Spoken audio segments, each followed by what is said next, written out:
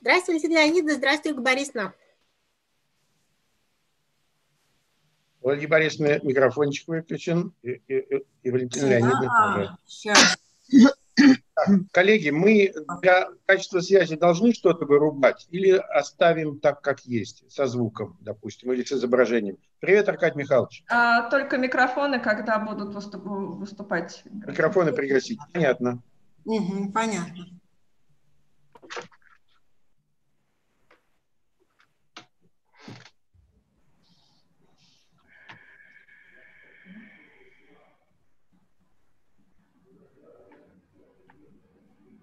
Ближе к этим.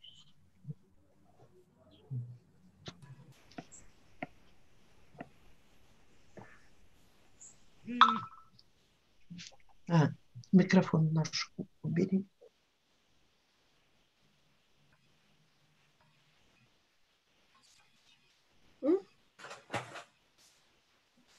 Я тогда уже, да, да все хорошо, да.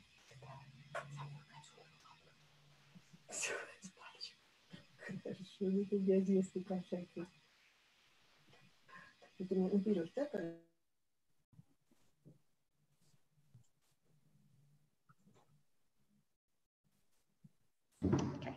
Good afternoon to all from European time zones. Good evening for those in the eastern regions, and good morning to all who just got up to join us. Welcome to the 16th International Conference on Thermal Analysis and Calorimetry in Russia. My name is Alexandra Khvan, and I'm honored to be deputy chair of the conference. And I would like to ask the co-chair of the conference, the Dean of the Department of Chemistry of Moscow State University, Professor Stepan Nikolaevich Kalmykov, to say a few words to open the meeting. Thank you very much, Alexandra, for introducing me. And uh, it is my great pleasure to open this uh, conference. So unfortunately, as many of the conferences, at least I was planning to attend, they are either canceled or turned to online version or postponed. So we have our conference online, and I welcome you on behalf of the organizers uh, at this online event. Uh, so we have uh, three different organizers. So Moscow State University, Institute of General and Inorganic Chemistry, and National University MISIS. So we all belong to different uh, state bodies because Moscow State University belongs directly to the government. Uh, University MISIS belongs to the Ministry of Higher Education and Science. And um, Institute of General and Inorganic Chemistry, it also belongs to Ministry, but this is a Russian Academy of Sciences. Uh, so we have a very broad program, and I'm happy to tell you that we have a lot of very uh, very interesting oral presentations uh, during uh, during our symposium. We have a complete book of abstract that is published, and we have uh, a special issue of uh, Russian Journal of Physical Chemistry devoted to the 16th uh, International Conference on Thermal Analysis and Calorimetry. So I hope that next year we definitely will meet each other offline uh, because this is a very important thing in each conference. This is informal talks during coffee breaks, during welcome events, during uh, uh, conference dinners where scientists from different areas, from different countries can meet together and speak in, informally. So this is the basis for very successful uh, collaboration in science. So I hope that next year we will have all these uh, social events at, at the conference. Uh, so before giving back floor to Alexandra, I would like to say a few words to several people. I, I, I would like to, to read that, their names, not to forget anyone. Uh, so I would like first, I would like uh, first of all to thank uh, Konstantin Gavrichev, whom I know for, for many years, who is the uh, vice chairman of the conference, as well as Irina Uspenskaya from Moscow State University, Alexandra Khvan from, uh, from MISIS University, and scientific secretary uh, Nikita Kovalenko. So they made a great effort to make this event successful and at least to have online uh, online uh, event today. Then I would like to thank uh, members of uh, pro pro program committee that were very active in viewing and reading the theses and abstracts and uh, preparing them for publication as well as the papers in the Journal of uh, Physical Chemistry. So this is uh, Yekaterina Belova, uh, Mikhail uh, Varfolomeev from Kazan Federal University, Natalia Konstantinova, Kurdakova Svetlana, Maximova Alexeya, Alexa Pisha, uh, this is, uh, he's from France, uh, Fabrichnyu Olgu, Germany, Hanna Hallstatter, Germany, and certainly Germany. And certainly, I would like especially to thank uh, Alexander Zubin, who is responsible for all these technical aspects related to online translation. As you know, we have both Zoom uh, meeting here, and we also have online translation in the YouTube. So all the lectures, conversations, and uh, um, discussions after the uh, plenary talks, they will live uh, for, for years at the YouTube uh, in, in, YouTube.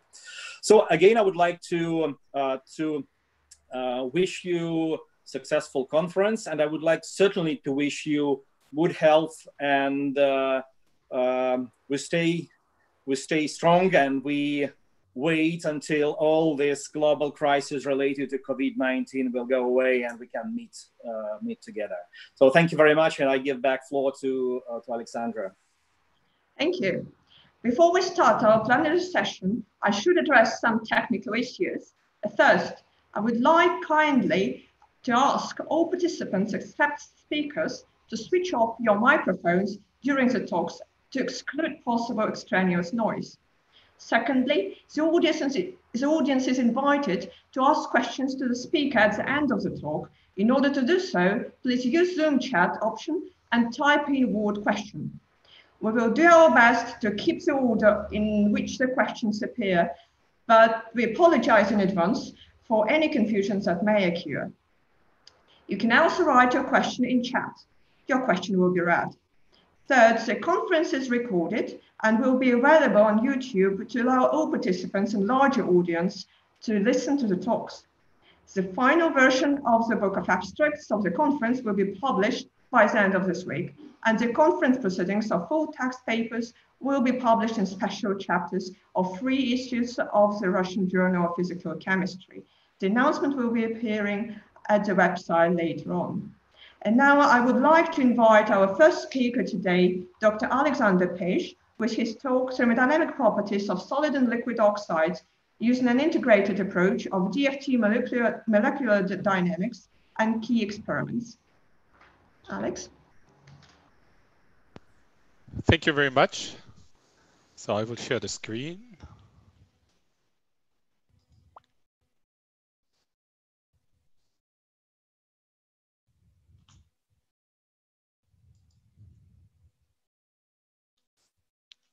So is everything fine for the screen? Okay. So, ladies and gentlemen, dear organizers, thanks. First of all, a big thank you uh, for the invitation and the possibility to present some of my results and ongoing research on this symposium. I would have loved to come to Moscow for the first time, but uh, well, it's not, it's then for next year. So we will see. Uh, although we are now used to work by video, this is the first time that I give a full talk uh, over the net. So we will see how things go on in the next 45 minutes. So as I said, I will present to you in the next 45 minutes some results on thermodynamic properties of solid and liquid oxides using an integrated approach of DFT, molecular dynamics, and key experiments. Uh, it is obvious that I have not performed this work all alone. Uh, therefore, uh, before presenting the results, I want to thank a quite a, a, long, a short list of colleagues. First of all, my colleagues here in Grenoble, Alain Pasturel, Noël Jakse, Johanna Nuta, and also Alexandra Khvan at, at uh, National University uh, MISIS in Moscow, with whom I had a lot of discussions on the topic. And then last but not least, uh, my postdoc, Guillaume Deffrennes, who worked a lot on, especially on the Lime oxygen system, together with Cecilia Alvarez, who is a master student. And then um, uh, I will acknowledge financial support uh, in the frame of the French R&D program Carnot de l'Énergie and uh, European R&D network NanoSem. and also computer resources at GRICAD here in Grenoble. And not to forget a lot of discussions we had in the in the French national uh, collaborative network on thermodynamics, which is called TherMat HD.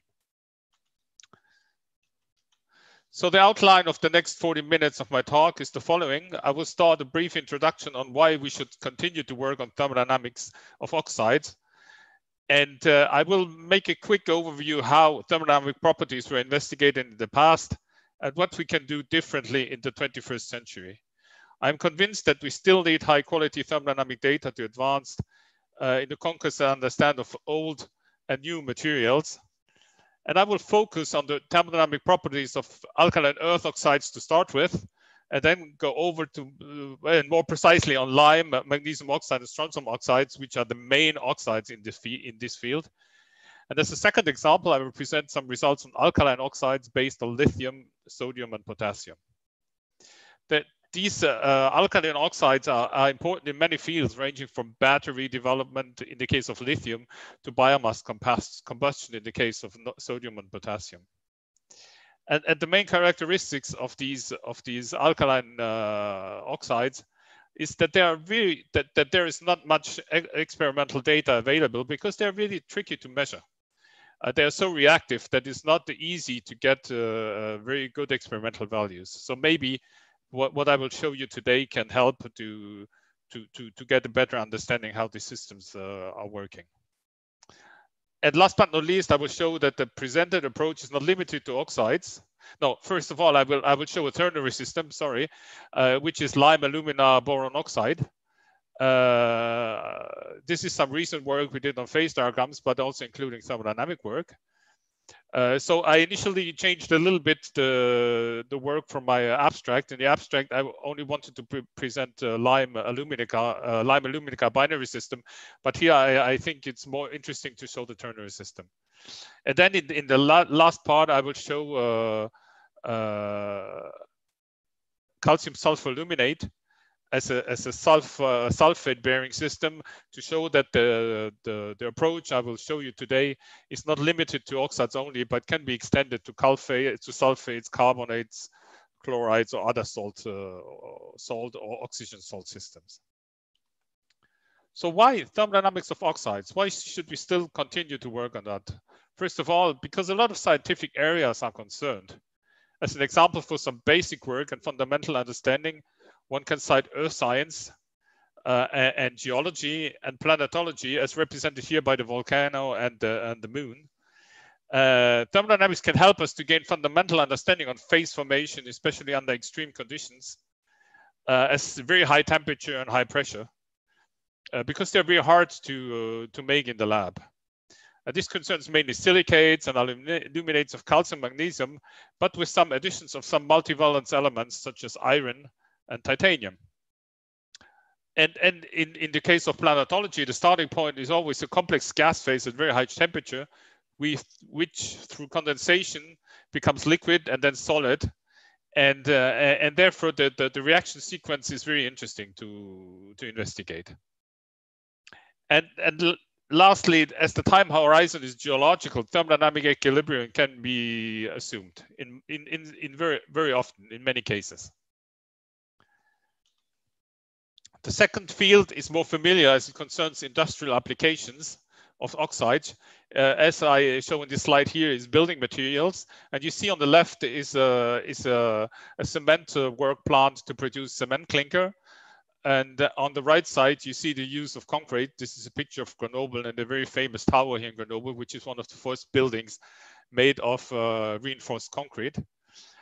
Uh, here thermodynamics uh, is helping us uh, two ways. In, in, in, on the left side so on the on the on the synthesis it's a high temperature process.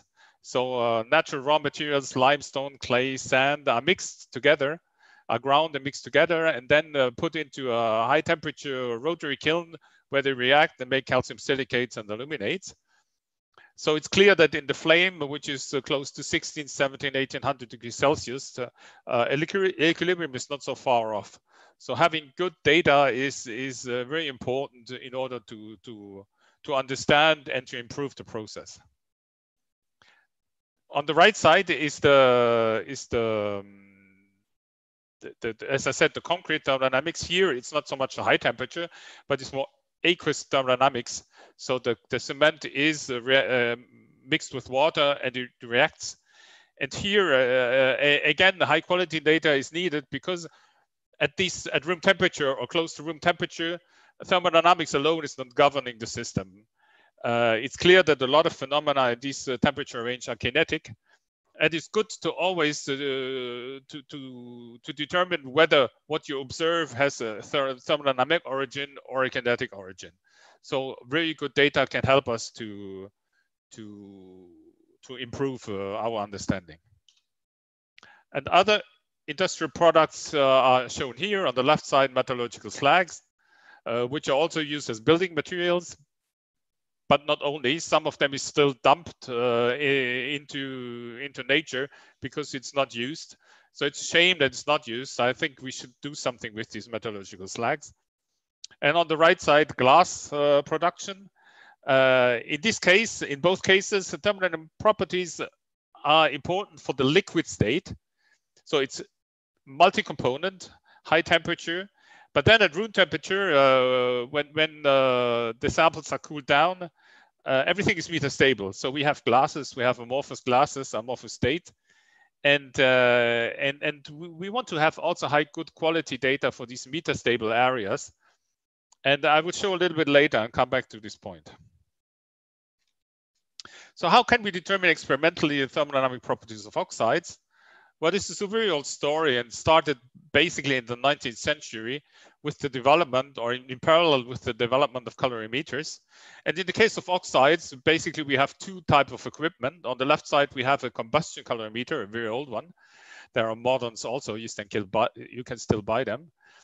And uh, here it's the important point that you react a metal with a certain amount of oxygen and you measure the heat upon reaction.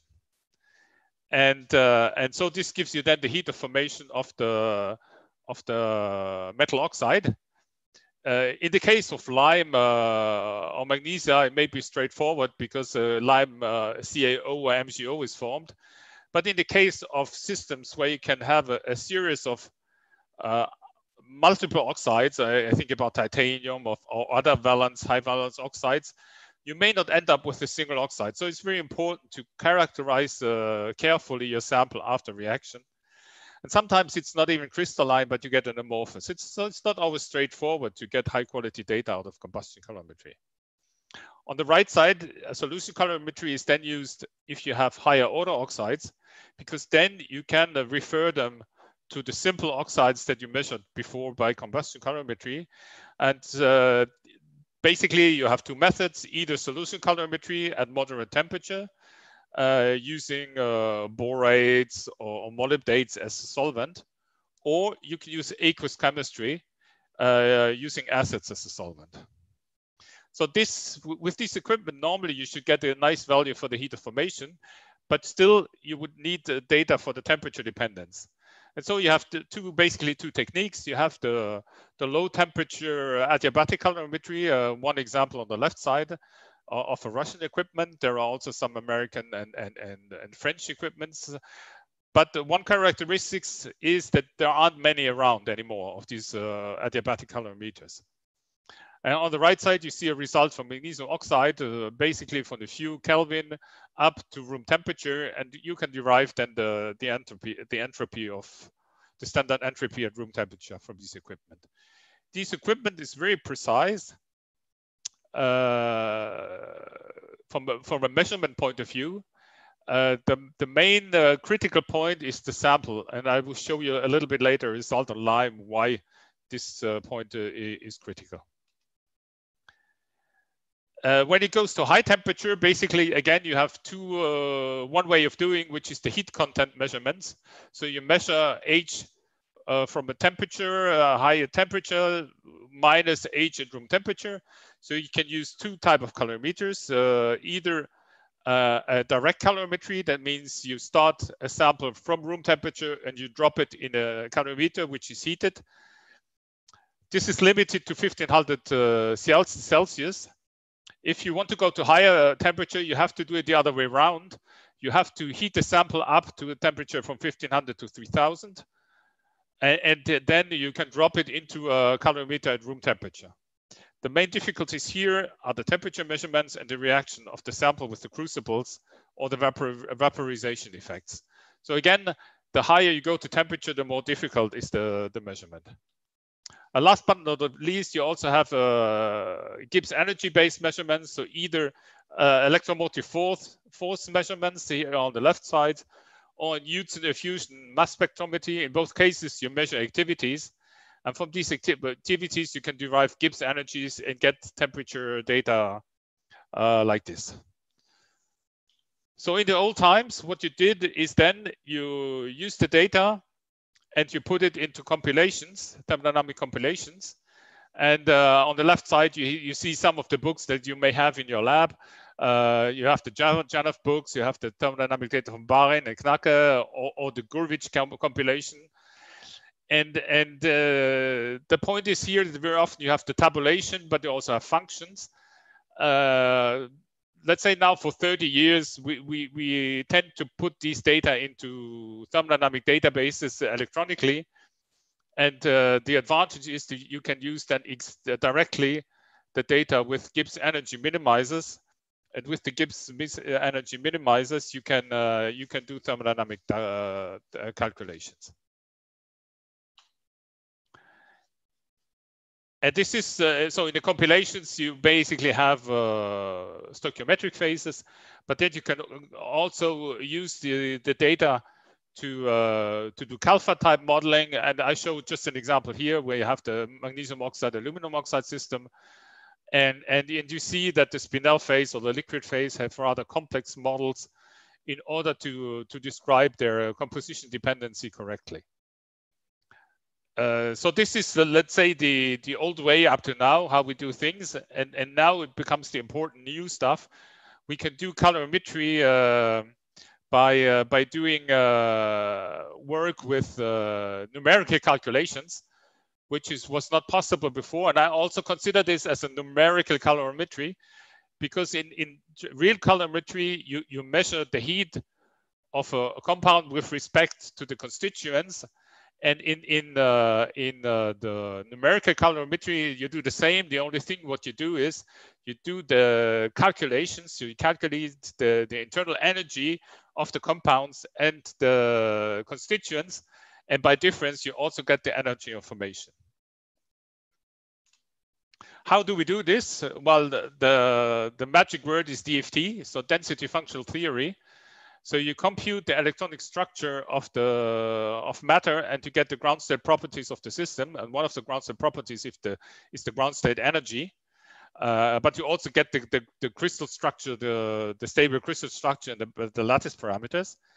And to do this, we start from the Born-Oppenheimer approximation where we consider only the electron to move, the electrons to move and the nuclei are fixed.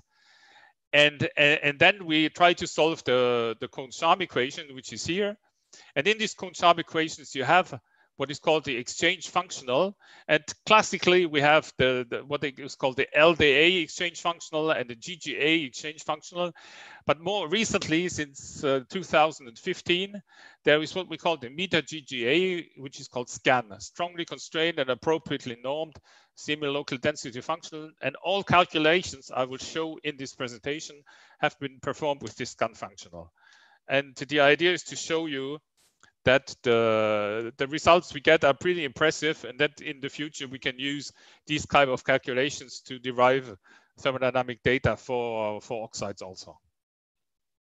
So how we do we do this? We start from the, from the initial structure. So we have an initial uh, density of the electrons and, and, and then we, we uh, try to resolve the Kohn-Sham equation and then we get a new density. And this is an iterative approach uh, so uh, the, the, uh, the, the atoms are moved and the electrons are calculated until I get the minimum of the energy. And when the, the energy is minimized and the, the, the, the forces on the ions are zero, I consider that I reached equilibrium. And so then gives, so this gives the total energy of zero K. But when we go to higher temperature properties, we, we need uh, a lattice theory And, and there we compute the, the phonon spectrum, as you can see on the right for CAO. And from this phonon spectrum and the energies of the phonons of the lattice vibration, we can calculate the, the Helmholtz free energy uh, in the harmonic approximation as given by this formula. And from this Helmholtz free energy, using classical thermodynamics, I can calculate then the entropy and the, the uh, heat capacity at constant volume. And, uh, and uh, if I want the heat capacity at the constant pressure, then I just have to calculate a series of, uh, of uh, Helmholtz free energies at different volumes. And like this, I can calculate the Gibbs energy. And from the Gibbs energy, uh, as given here, the, the second derivative of the temperature, I can calculate the, the heat capacity. So if I then have the heat capacity, uh, I, I, can either make a polynomial fit as it was done in the past, or what is more and more done in the CALPHAD community is use an Einstein model, where we have one Einstein temperature or multiple Einstein temperatures uh, to, to fit the, the, the, heat capacity. And, and it's clear that at high temperature, uh, this is only valid at low temperature. So if we want to go to high temperature, we need some extra terms in order to get good agreement with, uh, with the experimental values. And so if we sum up everything together, then we can get the Gibbs energy. And so first of all, the heat of formation. Uh, we calculated at 0K, and I get an example here for lime. Look at 0K, we have CaO minus the, the energy of 0K for calcium minus half the energy of oxygen gas. And uh, so this gives me the energy of formation at 0K. And then because I have lattice contribution even at 0K, which is called the so-called zero point energy, I have to do the same with the calculated zero point energies that I got from the lattice calculations. And then as I have the CP from zero to room temperature, I can calculate the delta H from zero to 298 which is just the heat content from, uh, in this case, lime, calcium, and oxygen gas. And if I sum up all the three contributions, I get the heat of formation. And the heat of conformations I will present later in this, in, in this talk are all calculated in this way. And when it comes to the liquid phase in the CALPHAD community, uh, which becomes more and more the standard, is uh, the so-called two-state model, where I consider that the liquid phase has two contributions, an amorphous phase and the liquid phase. And, and from this amorphous phase, or amorphous solid-like phase, when I go up at high temperature, the liquid uh, contribution uh, takes over and becomes more important. And this is just a mathematical uh, way of, uh, of uh, treating this description of the liquid phase. I will not go into details. I will show you some examples later in the, in the presentation. So after this rather long introduction, I will come to, to show you some examples. And I start with the alkaline earth oxides. And uh, I, I, will only show uh, the, the, single oxides, the magnesium oxides, calcium oxide, and strontium oxide. I won't go and discuss peroxides. So this, the structure is pretty, pretty simple. It's a cubic structure, uh, M minus 3M, a lattice uh, space group. And here I will show you uh, the calculated results uh, compared to the measured results. On the left side, you see magnesium oxides, and you see a very, very good agreement between the work done by uh, in 69 here in Grenoble and, uh, and uh, work by Watanabe in 93. And the calculated entropy is basically exactly the entropy that, uh, that Gmelin derived from his measurements. So that was very satisfying. And so we said, okay, let's let's try uh, calcium oxide and strontium oxide. And you see in calcium oxide, we, we have a shift uh, the values from Gmelin, which are these the crosses, are, are, way below the, the value we calculate. And, and therefore, the calculated entropy uh, of 40.2 uh, joules per mole in Kelvin is, is smaller, is higher than what's uh, Gmelin derived from his data. So the question is, are our calculations wrong? Is the method not good enough to to to be to describe the the data for lime oxide, or may the problem be in the measurement? So then we compared to strontium, and you see on the left side, strontium is again uh, basically right uh, on, on, the line and with a very good agreement with Gmelin. So if you come back now to to the to lime oxide, what what can be the origin?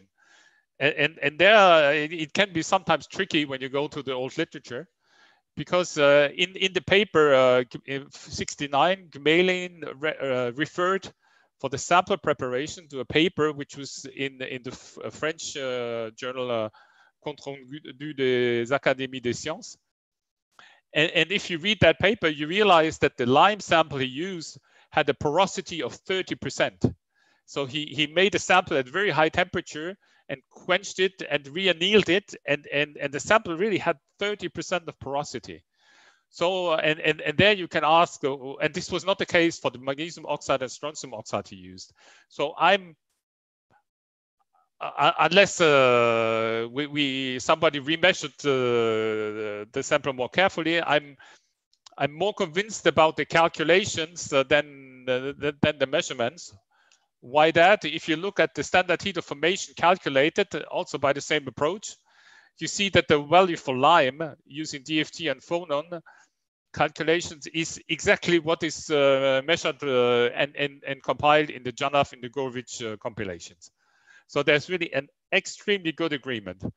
The agreement is a little bit less good for magnesium oxide and strontium oxide, where we have errors which are less than 2%, uh, but still it's reasonable. If you compare that with, uh, with the old GGA uh, derived calculations, which are way off and which very often have to be corrected manually in order to get an agreement.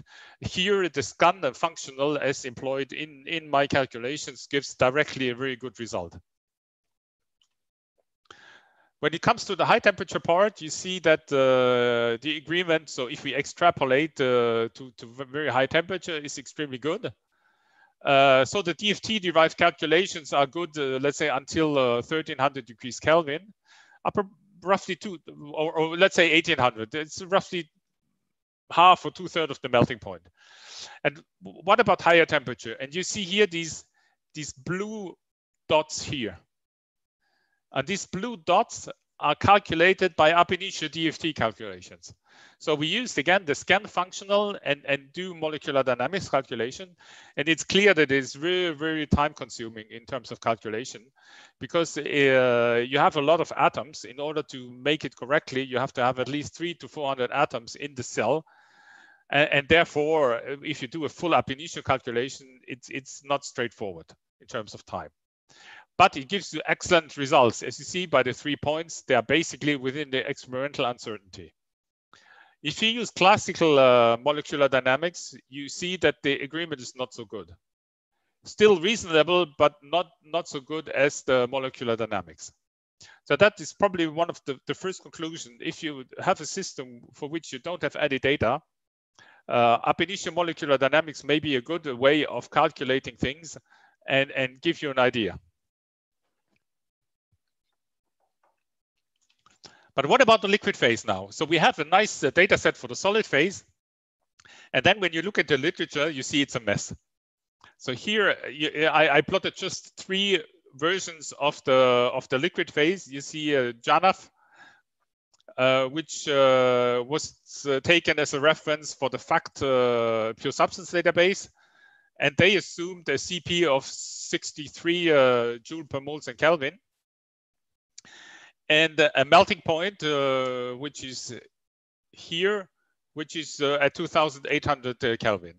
SGTE in their database, they assumed a much higher melting point, around 3100 something. And also, they assumed a much higher uh, higher uh, heat uh, heat capacity in the liquid phase of 83 joules per mole in Kelvin. So the question is now, which is the good melting point? Which is the good CP in the liquid, which is the good heat of fusion, and where is the glass transition? So four questions in principle you should always ask in when you have uh, uh, an extrapolation of the liquid phase down to room temperature. And so in, in, in this case, it's not straightforward because you cannot make a, a, an amorphous uh, lime sample. It's physically impossible and even in calculation, it's impossible. We did not succeed in in uh, ab initio molecular dynamics calculation to to to go down to room temperature. So it's impossible to make a an amorphous uh, lime sample. However, what we did, we can calculate the time temperature. And so this is done by classical thermodynamics, uh, sorry, classical molecular dynamics. But we checked the values also by uh, ab initio for some points. And you see, we confirm the higher CP of the liquid, which is around 80 joules, 83 joules per Kelvin, which is the one which is also favored by uh, in the Gurevich uh, compilation. So here clearly the assumption or the estimation by by JANAF is wrong, and and it, it should be corrected. Uh, this, by the way, was more or less confirmed also for magnesium oxide in a recent paper by a Vienna group, which also found a higher value in uh, in uh, in the CP. And then the, diffusion also was measured recently uh, at around uh, 3,200 Kelvin. And again, by calculation, we confirmed this value, this higher value. Our calculated value is at 3,170, so very close to the value they, they measured. And the last but not least, the, the heat of fusion is around 81 kilojoules per uh, mole, which is, means that you have an entropy of fusion of 25 joules per mole in Kelvin which is also an estimation done in the Gurevich compilation. And I think this is, the, we think this is the right one. So using now this new CAO, what we did, we did a CALPHAD uh, type assessment of the LIME oxygen system. And this is just to show you that it perfectly matches the experimental values, which, uh, well, I didn't plot it, but uh, you can trust me, they are, they are here, the liquid solubility in, in pure calcium, and here you get the melting point. And that's something that's probably worthwhile just to discuss uh, one minute. The melting point we calculate is the congruent melting point, but this one is something that you never can measure because the, the, the melting point depends on the on the oxygen partial pressure. And in pure, uh, the, so the congruent melting point is 3,222. And here the assessed one in uh, one bar of oxygen is 2,221.7. And when you go to lower, oxygen partial pressures, you get a lower value. So therefore, always be careful when you when you trust the melting points of very high materials that the oxygen partial pressure may be a, a, a, a tricky parameter to, to control experimentally, and, and therefore the, the values should be taken with care.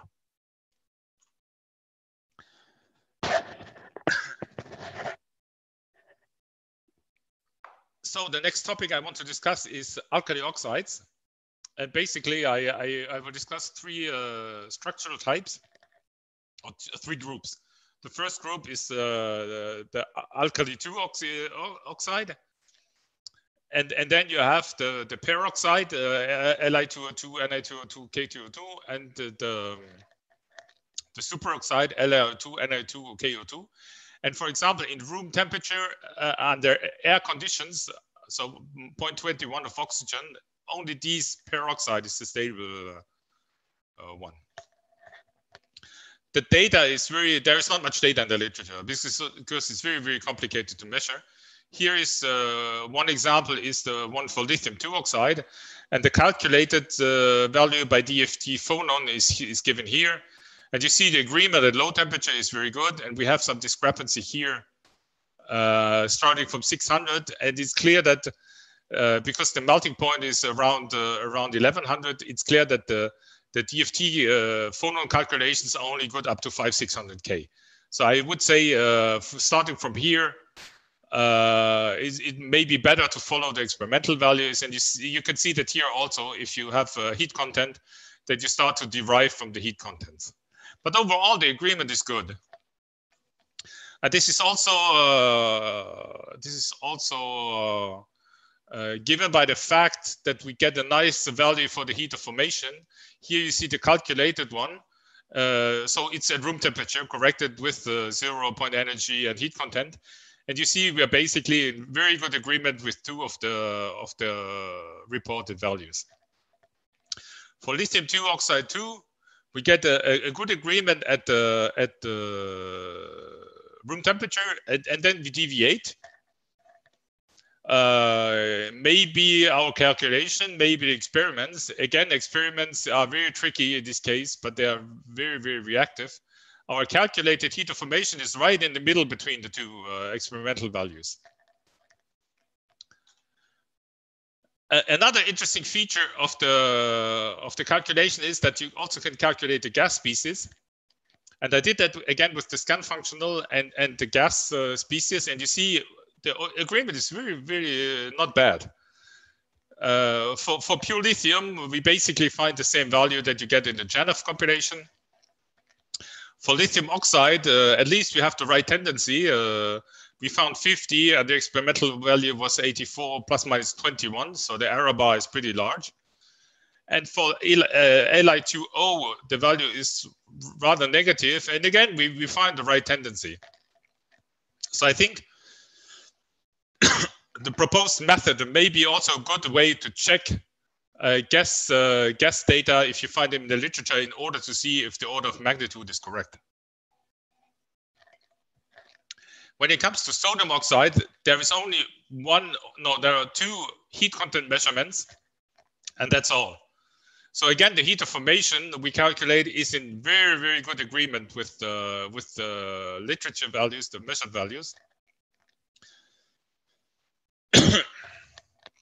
and then comes the, the, starting point why we started this work on on alkali oxide is to have and to check the data on potassium oxide. And there you see that the, the estimated data in the in, in the literature which is based on on, on JANAF is is uh, not so bad for the heat of formation so we have an error of let's say three to four percent. But the entropy derived from the low temperature heat capacity measurements are really completely different.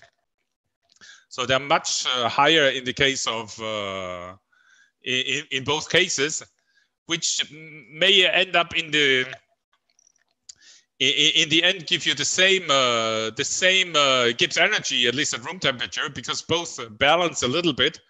But when it goes then to higher temperature, uh, it, it may give different values. So now these values can be used to, to make a full uh, CALPHAD assessment to see how this behaves in the multi-component system.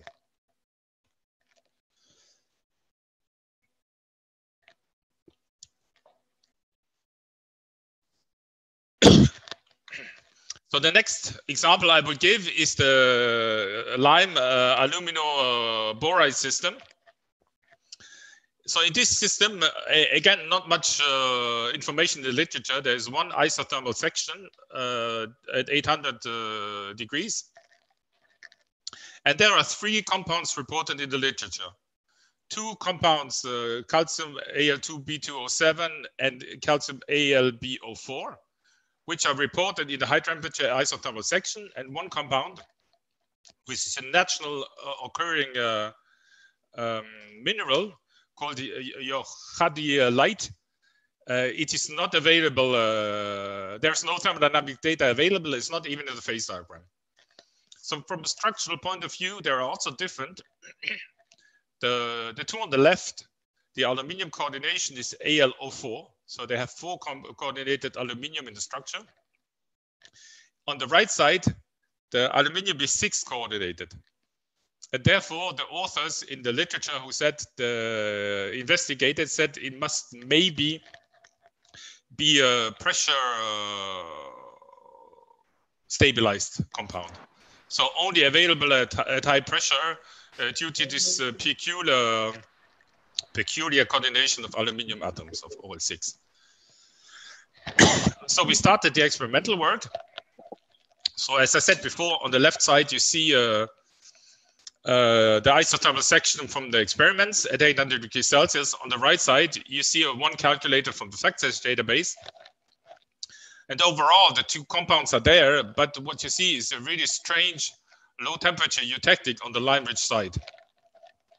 And we said it, it's not possible because the starting point of the study was to work uh, with this system in building uh, material sectors, of really lime-rich. And we said if you want to have uh, something correct, we cannot we cannot leave this low temperature eutectic. It must be an artifact of the of the modeling. So we did the calculation, and from the heat capacity, uh, not much a surprise. Uh, the dotted line is the Neumann-Kopp rule, so the sum of lime, alumina, and boron oxide. And you see that basically for these two compounds, we uh, we get a, a Neumann-Kopp behavior. So no surprise on that. But then if we go to the to the natural occurring compound, it's a little bit below. Not much, but a little bit below. But the big surprise came when we looked at the heat of formation and the delta S with respect to the oxides. And you see that the heat of formation com com compared to the FactSage database are much less negative. And that in the contrast, the delta S is much higher, much more positive. So these, at least the two first compounds with the ALO4 structure are entropy stabilized. That means the Gibbs energy becomes more negative when the temperature goes up. And uh, despite the fact that the delta CP with respect to the, to the basic oxides is almost zero. So it's clearly that the low temperature part from zero to room temperature have, have a big influence on these values. And, and, and the, the, the third one, so the natural occurring has a negative entropy of formation. So apparently, if you have OLO6 in the structure,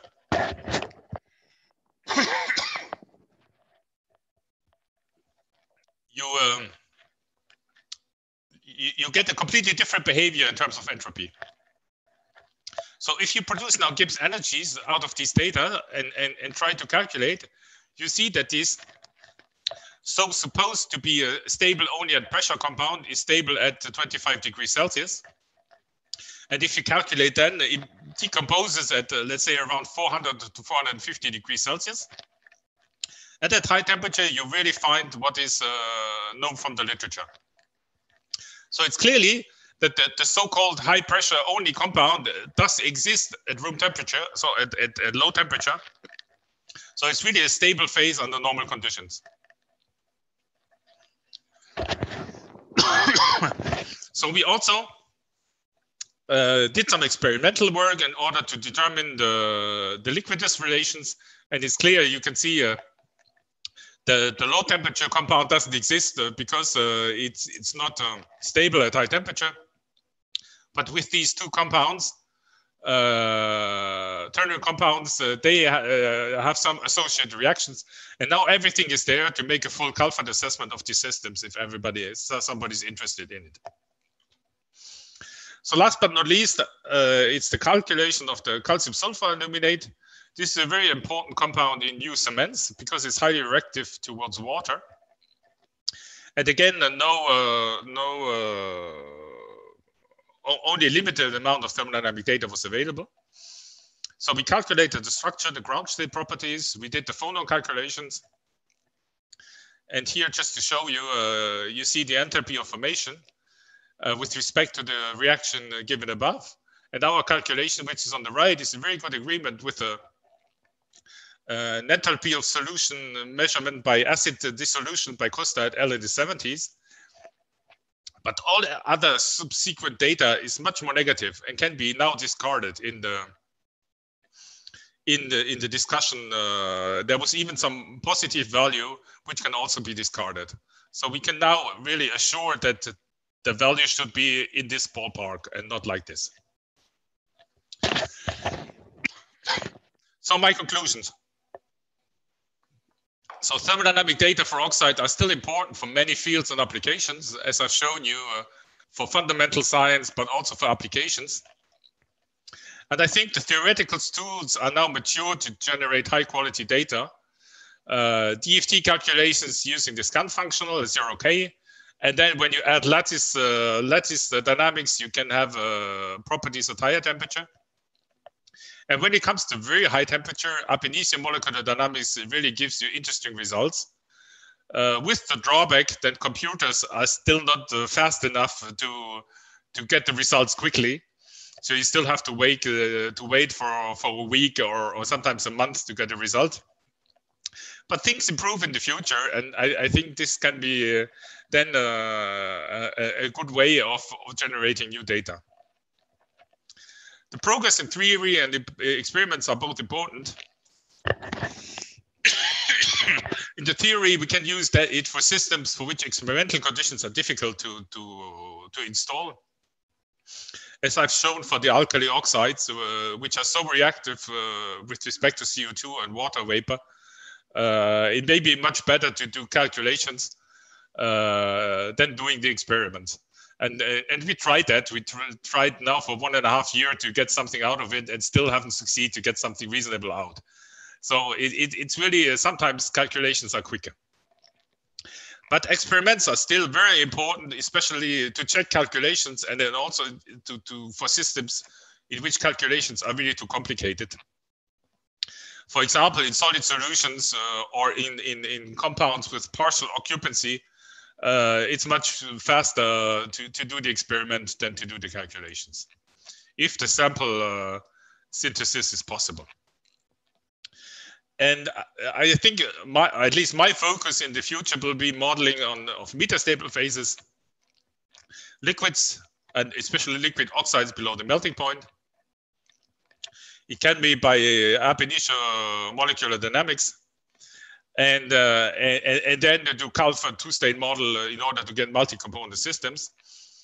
But it's also important in solid solutions uh, ranges in composition areas where we cannot get any experimental data but the models need input values. I think there, this is very important to continue also this work on modeling of metastable phases. Thank you very much for your attention. Thank you, Alex. Now, questions are welcomed.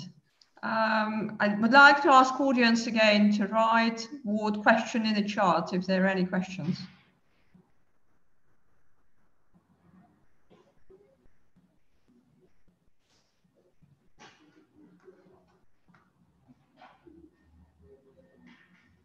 No questions?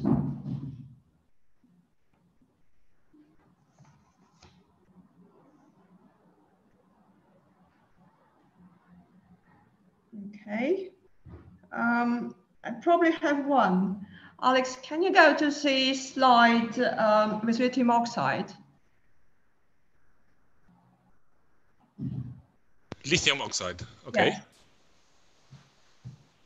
Yes. Yeah uh, what a, there is a kind of a jump between uh, 51 joule and uh, 78 Fen at, at, I think about room temperature. Is there any, what is the mismatch about it? I don't know where the jump comes from. It's just, I, I think it's just a measurement error. Ah, okay. Because uh, uh, fun just started at room temperature, mm -hmm. well, probably a little bit below room temperature. So potentially the low temperature part is not good and, and things improve and then uh, yeah I, I, I, don't know okay um, there's a question from igor abrikosov. Igor? Professor abrikosov? Yes, yes uh, alexander thank you very much for excellent talk. Very interesting. Uh, I, I, understand that the question may be uh, uh, yeah. Is there any hope that uh, thermodynamics can be measured uh, at high pressure? So what about high pressure? You, you said that oxides are extremely important in geoscience and high pressure physics, and I fully agree on that. Uh, any hope of getting thermodynamic data at high pressure? I, I think uh, using ab initio molecular dynamics, you, you can uh, calculate pressure yeah. dependence. Yeah. But again, it will take a, a, a lot of computer power to do so. Because no, you have no, to do no it multi- to, No way to doing it experimentally. Ah, experimentally, there are experiments, but they are limited to, to a certain amount of pressure, and uh, and they are also very tricky to measure because you, you, you very often you have uh, you have um, diamond pistons, and then you measure, and it, it's it's really uh, at, at moderate pressures, you can measure in pressure cells, uh, DSC measurements in pressure cells. But if it comes to very high pressure, it's tricky. Again, you can probably make the samples, uh, and then and then uh, if you have the samples quenched in this high pressure state, you can measure the, the, the heater formation and, and thermodynamic properties.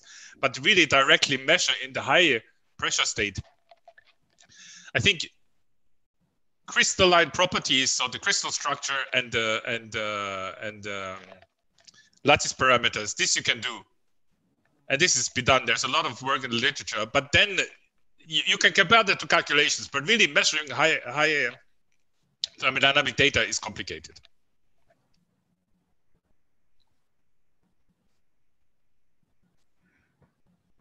Okay, uh, more questions? No, if that is not the case, then we should, oh, there is a comment from Irina Spensker. Will you say it yourself? Uh, okay, I should read. Um, she writes, thank you, Alex, for uh, very much for very interesting presentation. Um, you're welcome. Yeah, thank you, Alex. Um, okay, we should thank the speaker. And uh, we're now moving to the second talk, which is which will be given by Professor Igor Abrikosov, and it will be thermal analysis from oh pardon yes the thermal analysis from first principles, fundamental changes, and practical applications. Uh, okay. Um, we are a little bit ahead of time. Yes. Uh, I'm trying to. Okay, just want to make sure that you see my presentation uh, in a presentation mode. Yes. Yeah, good. Okay. Uh, thank you very much, ladies and gentlemen. Good afternoon or good morning, depending on the place and uh, your time zone. Uh, it's uh, it's a great pleasure to be invited, and it's an honor to give a presentation at uh, at this meeting. Of course, I am uh, very. Uh, it's a sad story that we have to go online instead of, of a true physical meeting. but it's it's nice to see my colleagues at least on on Zoom, and I'll do my best to to present to you our results, our recent results on uh, the way how we do ab initio calculations uh, for, uh, for to determine thermal properties. Uh, the work was done in collaboration with uh, Alena Ponomareva, Maxim Belov, Ekaterina Smirnova, uh, Kosta Karavayev, Kirill Sidnov, Babur Mohamed, Mohamedov, and with, with our chair, Alexandra Khvan, and it's a collaboration between uh, my university in Sweden, Linköping University, and uh, National University of Science and Technology, MISIS. Uh, I would like to, uh, to acknowledge my colleagues, uh, just trying to move my slides, yeah. Uh, I'd like to acknowledge my colleagues uh, who uh, also contributed to the results, which I'm going to present and to show today. Uh, members of my group at Linköping University, David Sangiovanni, Johan Klarbring, Bjorn Alling, Sergei Simak, David Gambino, Olle Hellman, and, uh, and Nina Shulumba. Uh, my presentation is devoted to several subjects. Uh, I will uh, give a little introduction, short introduction on first principle simulations, basically focusing on simulation of solution phases. Uh, I can save some time uh, due to the excellent presentation by, by, by previous speaker. Uh, I will also show some examples, uh, talk about theoretical description of thermodynamic and mechanical properties of multi-component body-centered cubic iron chromium-based alloys. Uh, I'll show uh, how theoretical uh, calculations can be suitable for understanding uh, diffusion, and in particular, uh, uh, I'll present superionic-like mass transport in BCC titanium. I will focus on model techniques which have been developed in Linköping for simulations at finite temperature, the temperature-dependent effective potential method. And I will uh, give the last story is about mixing entropies of alloys with dynamical instability because this uh, subject I consider is of uh, very high importance uh, for thermodynamic community. Uh, I hope I have time to conclude. Let me start with a, graph or the, uh, the picture which uh, many of you have already seen uh, many, many times uh, because we are talking uh, systematically about multi-scale approach for materials modeling. Uh, where we start with quantum mechanical simulations at relatively small system sizes. then to go to larger system sizes, we have to coarse grain our system, we have to get rid of electrons. Uh, so we go to thermodynamic models. Uh, and when we go to, uh, uh, to higher level models, uh, finally ending up in uh, doing simulations for our target uh, object, like, for example, nuclear reactor of the next, of the next generation. the idea is, of course, that we can, in all, at all these steps, uh, parameters needs to be uh, needs to be uh, presented. And then in very many cases, the parameters are taken from the blue sky. they often, they sometimes available experimentally, but it's very often that experimental information is limited, is not complete. and what I am going to argue uh, that uh, theoretical calculations can be used to get these parameters. And this can be done with uh, density functional theory. I said that many of you have seen this picture several times before. And we are talking about a multi-scale approach for four years. Uh, and uh, given this time, the approach uh, should be actually already working at the engineering, not just research level. And it still doesn't. And one reason why, uh, why, uh, why we have uh, challenges in going all the way from quantum mechanical calculations to device simulations is the fact that we are using parameters which are most often calculated at zero temperature. I'm very happy to see in the previous talk that uh, people start to, to include temperature effects at present, and this is very important. And for me, this is a key Uh, to get proper parameters for high level models, one should do simulations at low level models at the conditions where parameters are going to apply. It is a little bit meaningless to calculate zero temperature elastic constants of a material and use it in simulations of the property and the performance of the materials at 1000 degrees Celsius. Uh, I will, uh, the, the, main part of my presentation will be devoted to, uh, to um, illustrating this issue and to describing uh, what tools we are using and what tools we are, have developed and how, how the simulations can be carried out nowadays.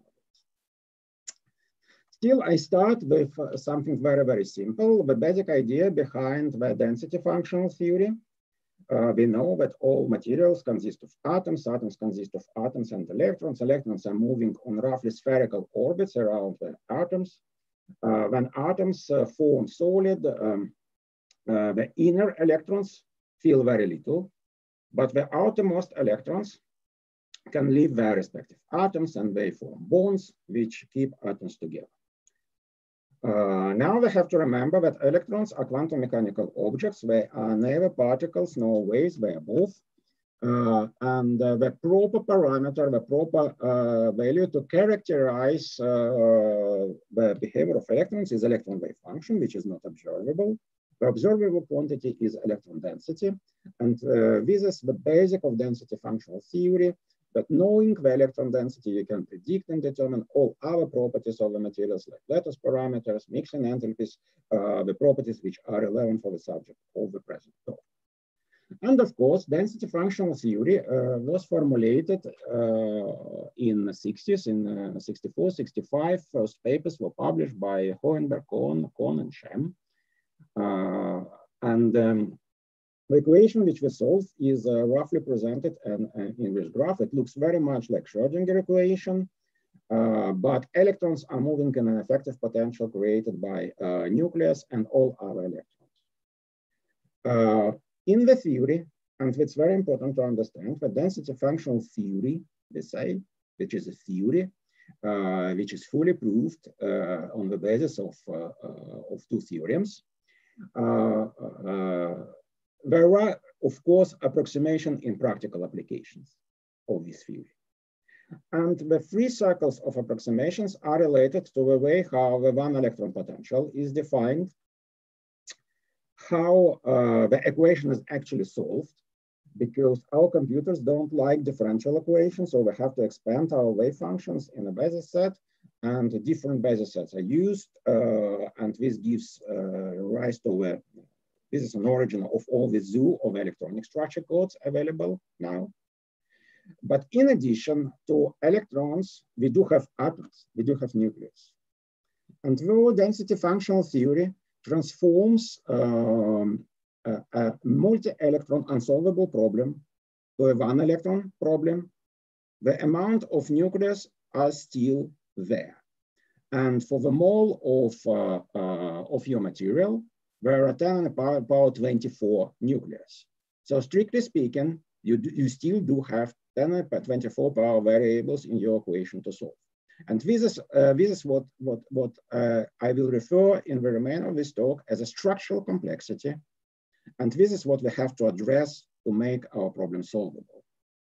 Before I move to, uh, to this issue, I would like, just like to underline another, another important point, that density functional theory is a constantly developing theory. It is a theory which is alive. It is a theory which uh, always improves basic approximation, especially in terms of the one electron potential. So the previous speaker focused a lot on the development of a scan functional. Uh, there are also other approximations uh, like dynamical mean field theory, LDA plus U hybrid functionals, which allow us to produce uh, data with higher and higher accuracy. But as I said today, I'm going to focus on the structural complexity. So I'm going to talk about uh, this circle of approximation, how it deals with, uh, with many atoms in our system. And uh, originally, uh, the theory was uh, considered and developed uh, for the case of ordered compounds. So when we have a perfect periodic order between, say, red and blue atoms in this particular case, if we do have this periodic order, we can define the unit cell and then we can make Fourier transform and remove the rest of the crystal and solve our problem for the unit cell. And this is very, very important because the solution of uh, differential equations, uh, which we transform to linear algebra, expanding our wave function to basis set, scales as an n cube with the number of atoms in the unit cell. Basically, for one, for two atoms in the unit cell, it takes eight times longer to solve the problem than for one atom in the unit cell. And that's why it's getting pretty much complicated to include, to treat complex systems. Okay, so these are ordered compounds, but we do know that, uh, and especially in, in, in, thermodynamic community, the solution phases are, are, obviously very important. And in this case, uh, we cannot define a unit cell because the periodic, uh, the periodic distribution of atoms uh, is broken translational symmetry is broken. There are two techniques which are currently used to address the problems in the solution phases. The first one is a supercell method, where you take a system as large as possible, introduce periodic boundary condition, and solve your problem for the big, big, big unit cell, which we call supercell. Of course, it is very important to understand that you cannot have an ad hoc distribution of atom, or you better don't have ad hoc distribution of atom in your supercell. There are very intelligent techniques like special quasi-random structure methods suggested by Alex Zunger in 90s. Uh, so you can design in, uh, the supercells intelligently, so you don't have to average between different supercells, but you have answer from calculating your properties just for one supercell. Still, calculations are extremely time consuming because you have to treat large number of atoms. And uh, as we have already pointed out before, uh, the computational effort scale as n cube. There is an additional method uh, or alternative method for treating the solution phases, which is called coherent potential approximation. Uh, the idea of this method uh, is to, instead of doing supercell, uh, to find an effective atom. Basically, you substitute your disordered distribution of atoms by an ordered distribution of effective atoms, uh, which the properties of which should, should determine uh, or describe the properties of your original solid solution components on the average. You have to find the proper quantity, which you have to average. Now I'm moving from uh, red and blue to, to, to yellow and blue uh, I'm considering a solid solution, AB solid solution. And when I introduce my uh, effective atoms, my green atoms, and I solve very uh, well-proven, mathematically proven equations uh, in terms of the so-called Green's functions. But the physical meaning of these equations is very simple. Uh, you assume that you add one A component in this effective medium. Say, if you consider equiatomic alloy, you add one A component, you add one B component, and on the average, the system of these A and B impurities in your effective medium should give you the same properties as your effective medium. Of course, if it's not a uh, non-equiatomic uh, alloy, you have to weight it with concentration. So this is the basic idea behind uh, uh the technique. So both Uh, supercell technique and coherent potential approximations have their uh, advantages and disadvantages. Supercell technique is very accurate. It can be realized with basically every electronic structure code available now uh, on the market. Coherent potential approximation requires special programming and has additional problems. For example, you cannot treat the problem of lattice relaxation. So at this point, atoms are sitting at the ideal position, which may be a severe limitation. However, it is very, very fast. And I'll show the application of uh, these methodologies first in uh, understanding the effect of multi-component alloying uh, with different impurities uh, on uh, the properties of iron chromium alloys. The example of iron chromium alloys is very interesting because this is a base for many important industrial steels uh, and in particular for nuclear reactors. Uh, it is known that uh, steels with up to 10% of chromium show enormous stability, uh, very high resistance to irradiation, to swelling, and, and, other very important properties. Uh, however, for the next generation nuclear reactors, we need, uh, which are supposed to operate at, at, at more extreme conditions, you have to ensure that, that your alloys have better properties and one way of going and designing new steels is multi-component alloy. Obviously, experimental studies of iron chromium uh, alloys with multi-component additions is very complicated and time-consuming thing. So we hope to be able to uh, assist uh, this type of development with electronic structure calculation.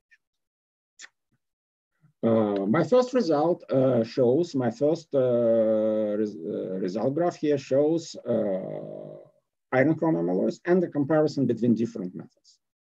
Uh, so here I would like to compare my supercell technique with my effective medium or CPA technique uh, to show that uh, both of them can be applied in the present case. Uh, very different properties have been calculated, uh, lattice parameters, mixing enthalpies, uh, bulk modulus, uh, single crystal elastic constant, Young modulus, shear modulus, and for example, G over B ratio. uh, blue uh, uh, blue diamonds show results of supercell calculations carried out with VASP software. Red and black symbols show the results of the CPA calculations in different approximations. And the green uh, triangles show the available experimental data, which we were able to find uh, to compare our results for experiment. Uh, to save time, I just say that uh, in principle, uh, different techniques lead uh, the results with uh, quite sufficient accuracy to perform characterization of this material. In particular, uh, using the frozen core approximation most often give uh, better results with, in comparison to experiments. So in the remaining of this talk, I'll show CPA results obtained in a frozen core approximation. Another thing uh, which you have to have in mind uh, to compare uh, theoretically calculated results, especially for magnetic alloys uh, with uh, experimental information, is that you have to treat magnetism properly. Uh, indeed, consider a ferromagnetic material at zero temperature.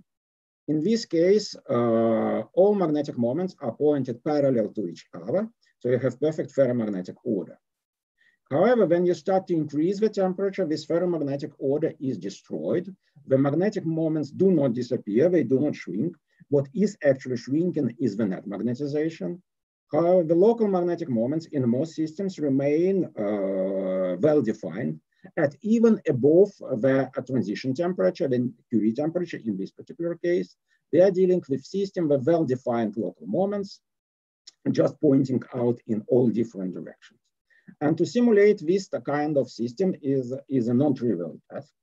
Uh, one model which has been developed for this type of simulation is the so-called disordered local moment model, uh, where instead of two component alloy iron chromium, one consider a four component alloy, iron spin up, iron spin down, chromium spin up, chromium spin down.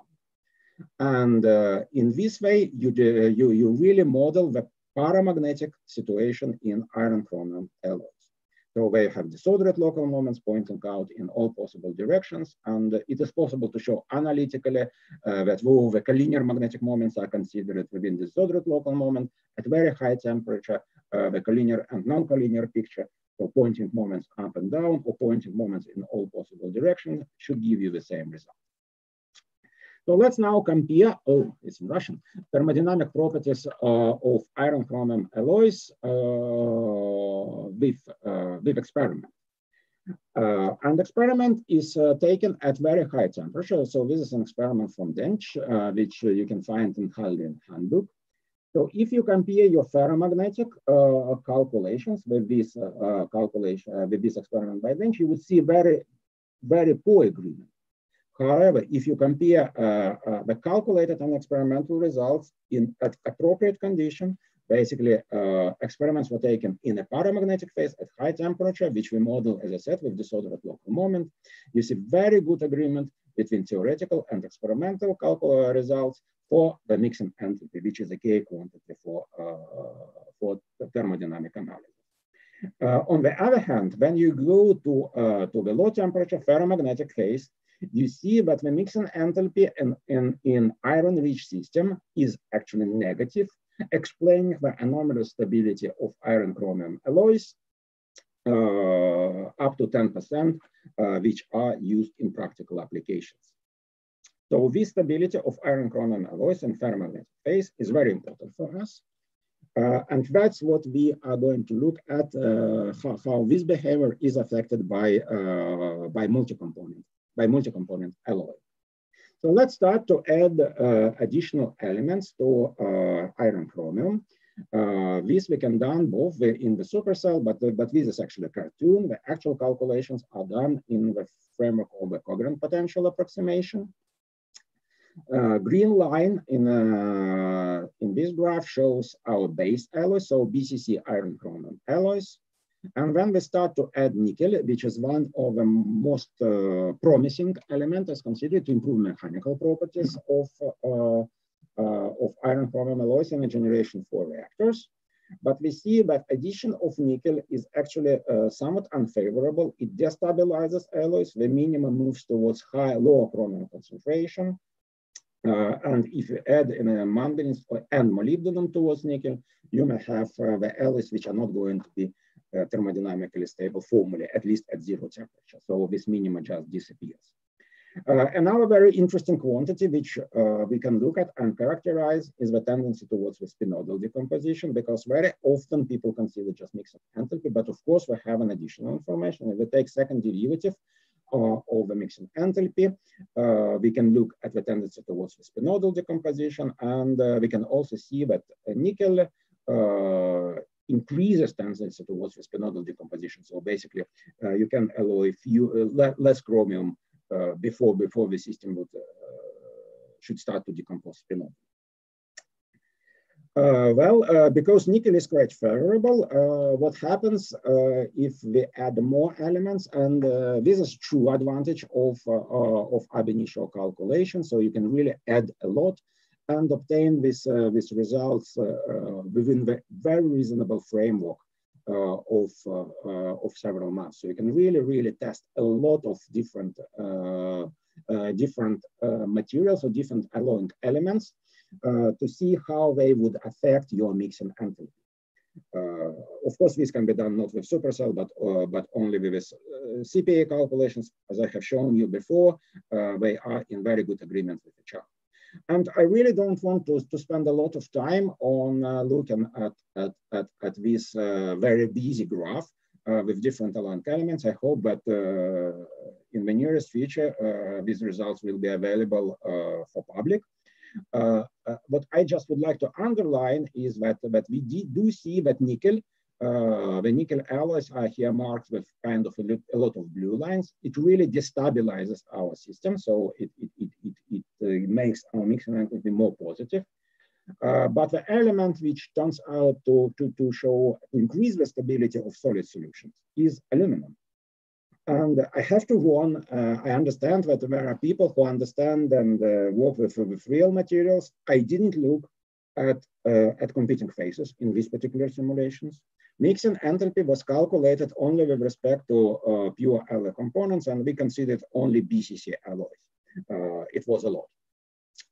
But uh, what we see is that uh, while nickel uh, removes these uh, minima, uh, which was characteristic for iron chromium and did characterize its stability, aluminum actually makes it mix, makes the mixing enthalpy more negative with respect to pure alloy components.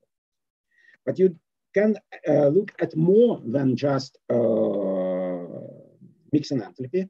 Uh, ab initio calculations allow you to predict and to consider also uh, elastic properties of this material. You can calculate single crystal elastic constants. Uh, and from that, you can get uh, mechanical properties of your polycrystalline materials, like the key uh, parameters for engineering applications, Young modulus and shear modulus. Uh, and the behavior of Young's modulus and shear modulus due to the multi-component alloying is actually very similar. Nickel somewhat reduces both Young modulus and shear modulus. Aluminum increases uh, the, uh, both Young modulus and shear modulus. It doesn't compensate completely the effect of nickel, so if you allow them together, but at least the part of the decrease, uh, and decrease is not very high, uh, can be compensated by aluminum if you add it to uh, iron, chromium, and nickel. Even more interesting is the possibilities to estimate relevant mechanical properties which cannot be calculated. Uh, of course, uh, such relevant properties like uh, brittleness or ductility uh, can uh, not be determined uh, completely consistently from ab initio simulation at this moment. But you may use phenomenological parameters like a typical G over B ratio or Cauchy pressure. So if you consider the ratio of shear modulus to bulk modulus and it's uh, below 0.5, you can expect your material to be ductile. Uh, uh, and the same if your Cauchy pressure is positive, you also can expect your material is ductile. If uh, G over B ratio is uh, more than 0.5 or Cauchy pressure is negative, uh, you can expect the brittle property for, for your material. And once again, most of the effect is determined by chromium, of course. but if we look at, at aluminum, it actually should make the material more brittle. Nickel makes it more ductile. And once again, the combination of alloying element uh, nickel and aluminum, they kind of balance the element, uh, make uh, at least the solid solution with respect to pure components even more stable uh, without strongly affecting mechanical properties of the material. So these type of conclusions you can derive from ab initio calculation, considering a lot of simulations and a lot of materials with uh, very reasonable uh, competition efforts. Now let me move to, uh, to the final temperature effect because so far I was talking about uh, still zero temperature calculations and I fully agree with the previous speaker, uh, with Alexander, that you really have to go to uh, final temperature simulations to get reliable theoretical data and the reliable uh, properties for your I will be very quick in this graph because Alexander in the previous talk very excellently introduced the way how one can induce temperature effects using harmonic or quasi-harmonic uh, uh, approximation. You basically calculate your phonon dispersion relation, which here I show for the case of the new high pressure phases of boron, gamma boron. You can, you can obtain your um, frequencies for your lattice vibration, phonon density of states, calculate vibration of free energy, and calculate all your properties as a function of temperature. Uh, for example, volume, elastic modulus, uh, uh, pressure derivative of uh, B prime, etc., etc. And you can see that, that in particular in light elements, this can be very important. even a small temperature of 300 Kelvin can sufficiently affect the calculated property. The issue is that uh, this type of approach uh, cannot be routinely done on all kinds of phases because uh, if you take BCC titanium and try to do uh, this type of uh, simulations, uh, like quasi-harmonic approximation simulations, you see that your frequencies at certain at certain k vectors are getting imaginary. This means that your material is absolutely unstable dynamically unstable if you have uh, the imaginary frequencies at, uh, at a general K point, or mechanically unstable if you have the imaginary frequencies at gamma point. Uh, this would be also uh, seen in calculations of elastic constants. And if you have imaginary frequency, you basically cannot determine vibrational entropies in your conventional harmonic or quasi-harmonic approximation. Uh, the approach which allows you to do it because we all know that BCC titanium perfectly exists. You just have to heat your, your titanium to uh, about 1100, uh, sorry, uh, 1,500 Kelvin, uh, 1,130, don't remember exactly. Uh, and uh, your material uh, is, is, is, going to be perfectly stable. Uh, so the approach and the way to, to treat and to simulate these materials is, of course, ab initio molecular dynamics.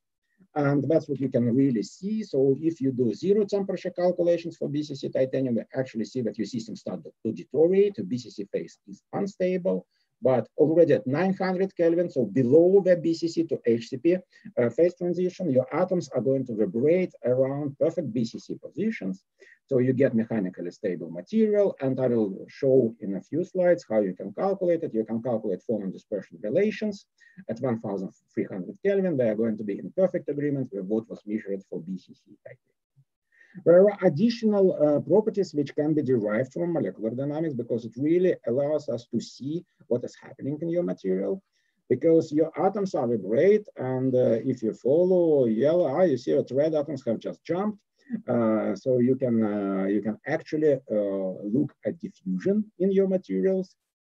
So not only to calculate ground state properties, but but you really have a lot of uh, a lot of interesting features and uh, sometimes you get uh, uh, you get the results which are quite unexpected. So let's consider again uh, our BCC titanium at temperature which is very close to the melting temperature and carry out our uh, molecular dynamic simulations in the defect-free unit cell. So I underline, so now you are going to see what is happening in your defect-free unit cell. So this is a result of our initial simulation, so no vacancy we all know that the vacancy mechanism, aha, you see what is happening. You see that atoms start to move. So it's a concerted motion of several atoms in a defect-free unit cell, which provides you a new mechanism for the diffusion in titanium.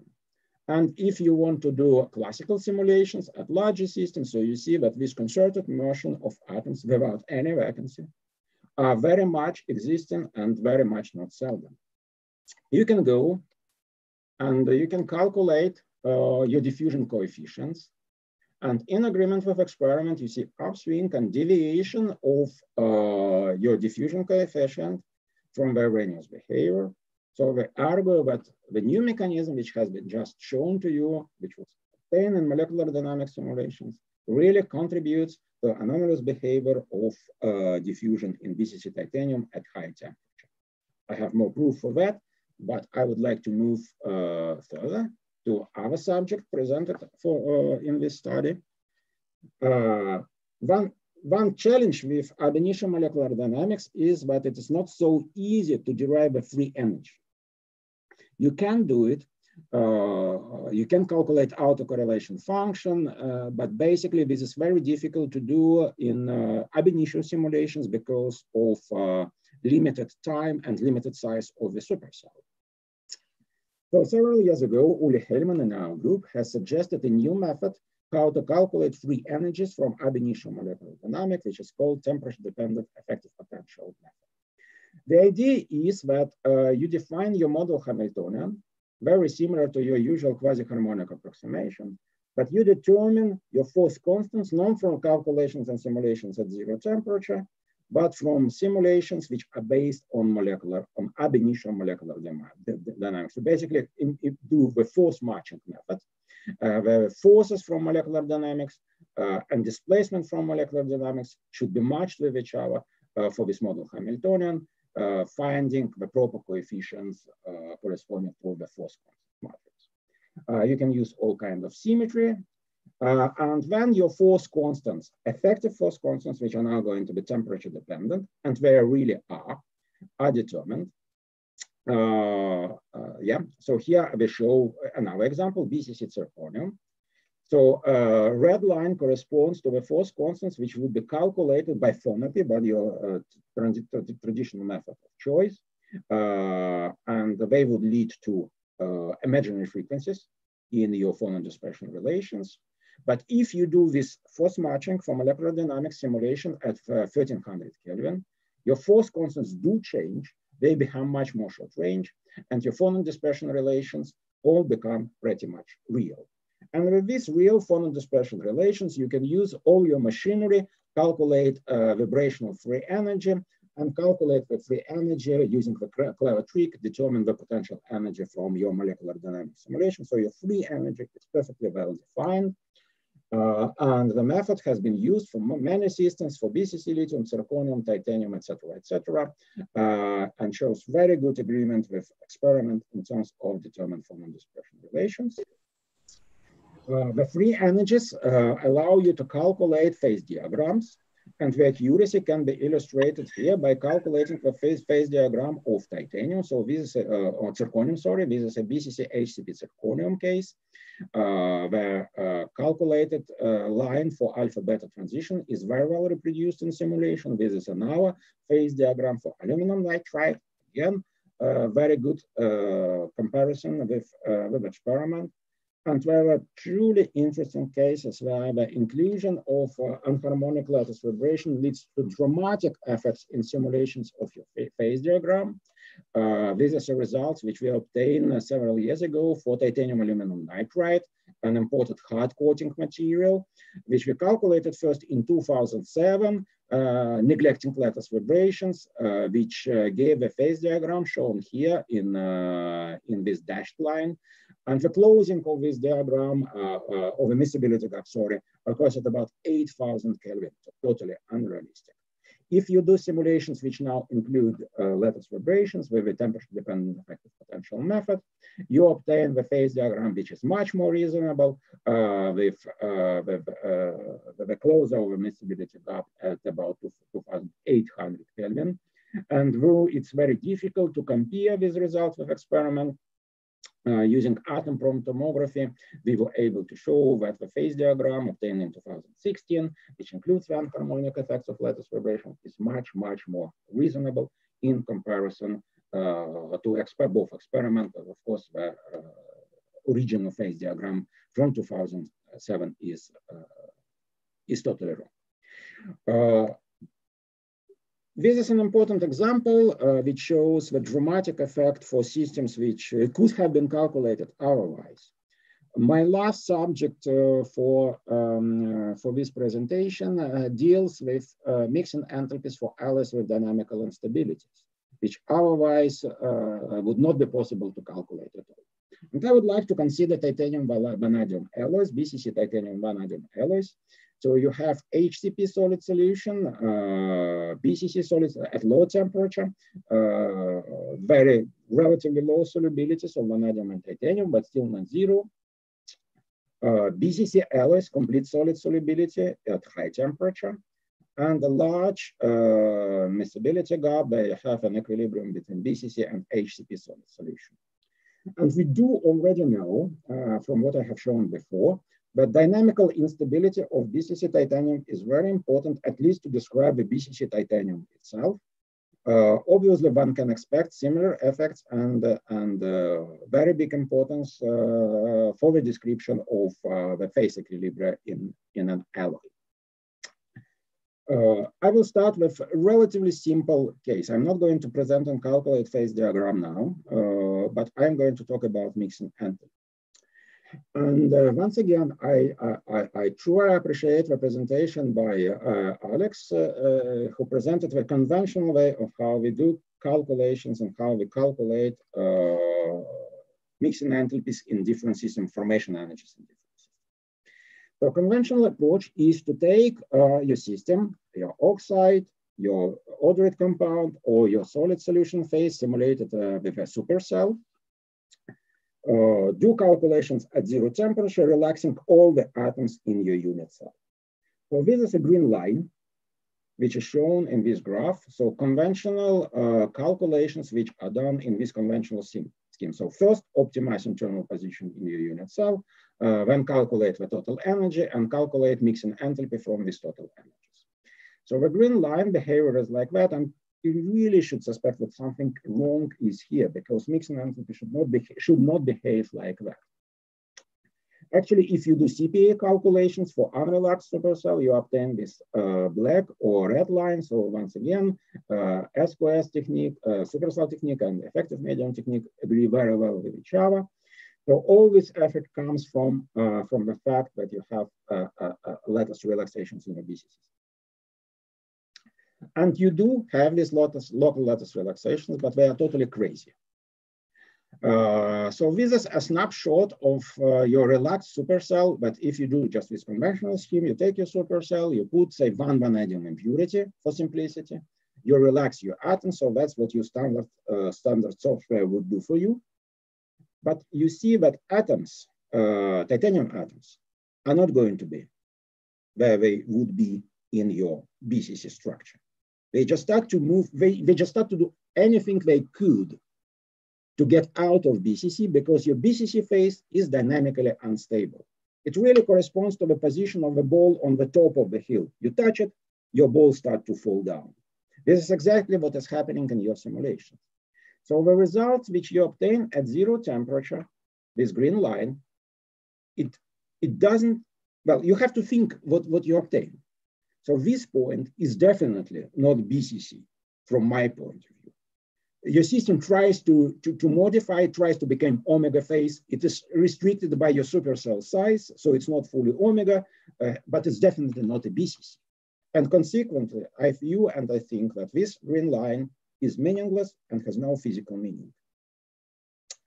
Okay, if we now do molecular dynamics and do simulations at 1300 Kelvin, we see that uh, the running average of your stresses uh, shows that the system becomes dynamically stable. And you also see that your BCC titanium atom start to vibrate around their positions, their equilibrium positions. So this is BCC titanium vanadium alloy as it should be at 1300 Kelvin. So the mixing enthalpy of this system has physical meaning. It is correct, it is reasonable. And this is what I show in this graph by the blue line. And I truly appreciate the collaborations with, uh, with Sandy, uh, who took courage of making measurements for this system. Uh, we, of course, we were unable to find mixing enthalpies for uh, titanium vanadium alloys. Uh, and uh, we see that the mixing enthalpy measured experimentally at 1100 So the difference may be partly related to the fact that measurements and experimental uh, calculations are not done at the same temperature, but it's definitely positive. We definitely don't have uh, and don't see this negative uh, deep here. Uh, and agreement between ab initio simulations and, and experiment is, is really very, very good. And just to show what uh, you would expect in, in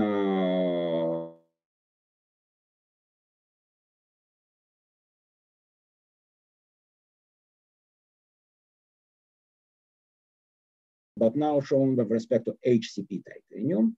Uh, so this is basically, uh, uh, my internet connection is unstable. I still, I hope you still hear me.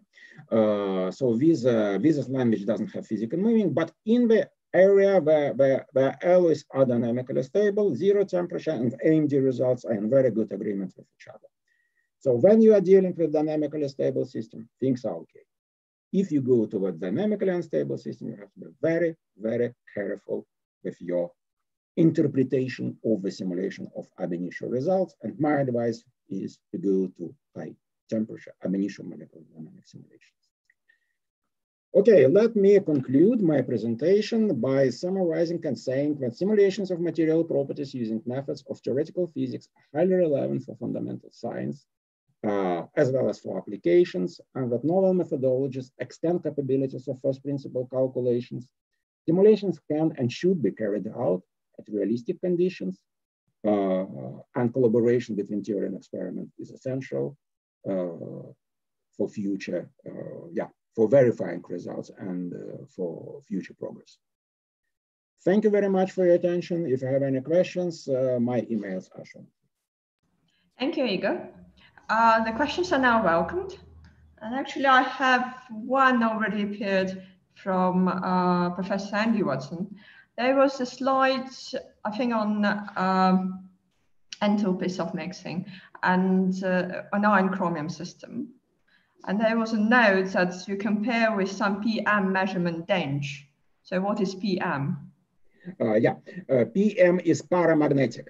So the, uh, the, the, measurements were done at, at, at, very high temperature. I don't remember now, it was uh, about 1000 degrees Celsius. So definitely above, uh, above the magnetic phase transition in iron chromium alloys.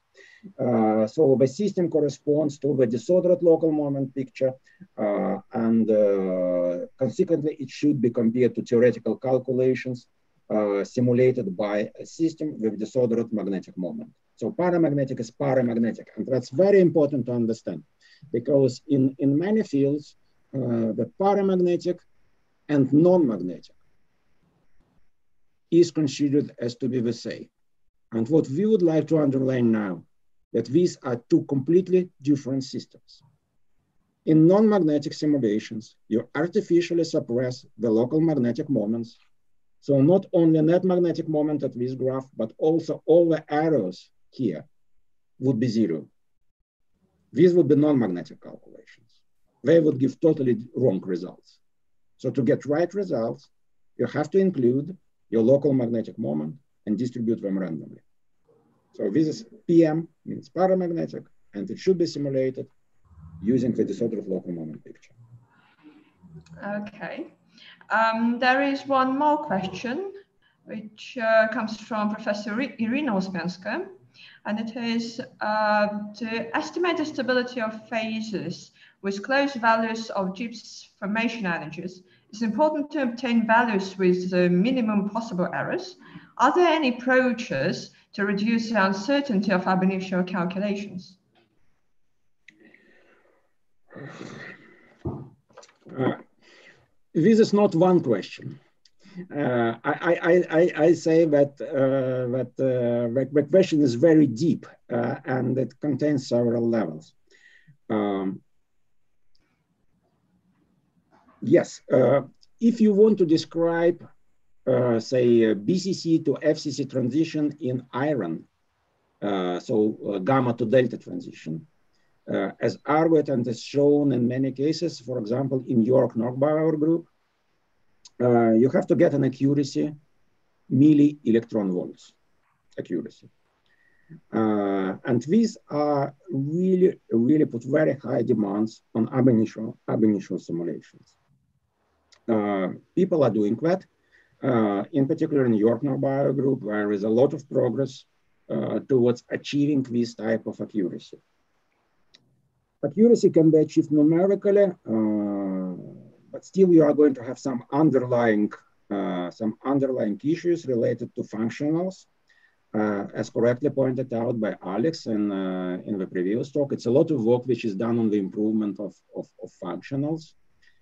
Uh, so we are, uh, we are doing our best to, to, to get to, to, to, this type of, uh, of accuracies but it's, it's very difficult to, to, to, to characterize uncertainty of theoretical simulations. This is, this is one of the biggest challenge in our field. Uh, can, we, can, can we give an error bars for ab initio simulations? Sometimes we can, uh, like in ab initio molecular dynamics, but they would be methodological error bars. Uh, the error bars due to the limited time in uh, which your MD simulation is performed. It, it is not going to include errors due to, say, using different approximation for exchange and correlation. So work, it's a lot of work is in progress.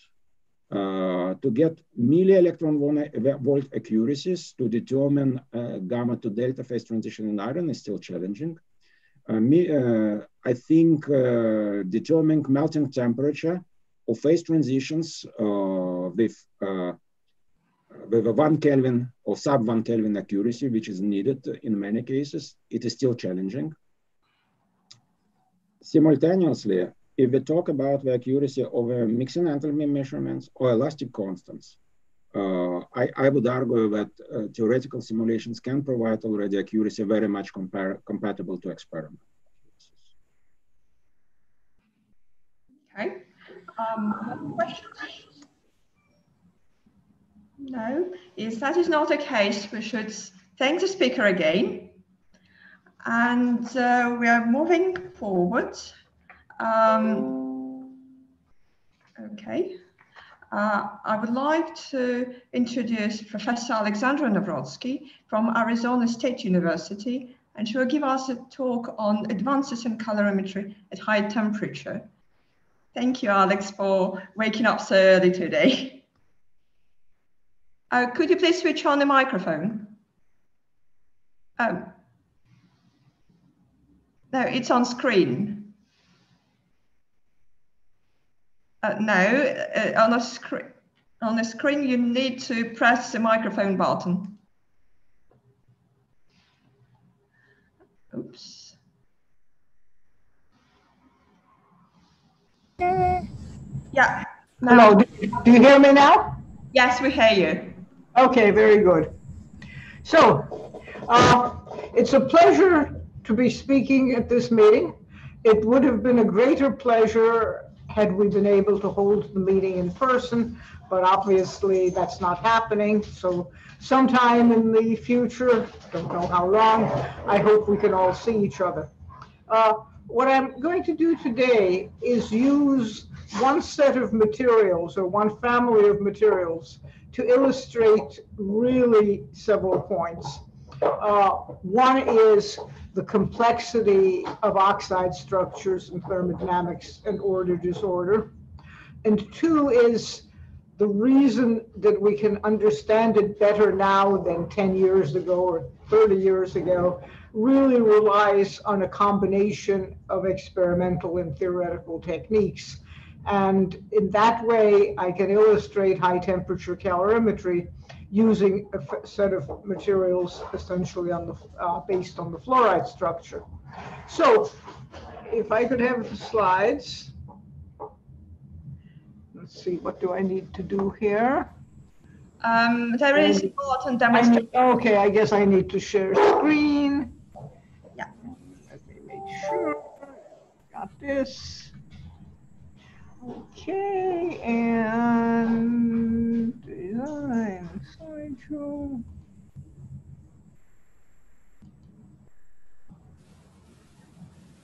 Okay, I think we're all right here.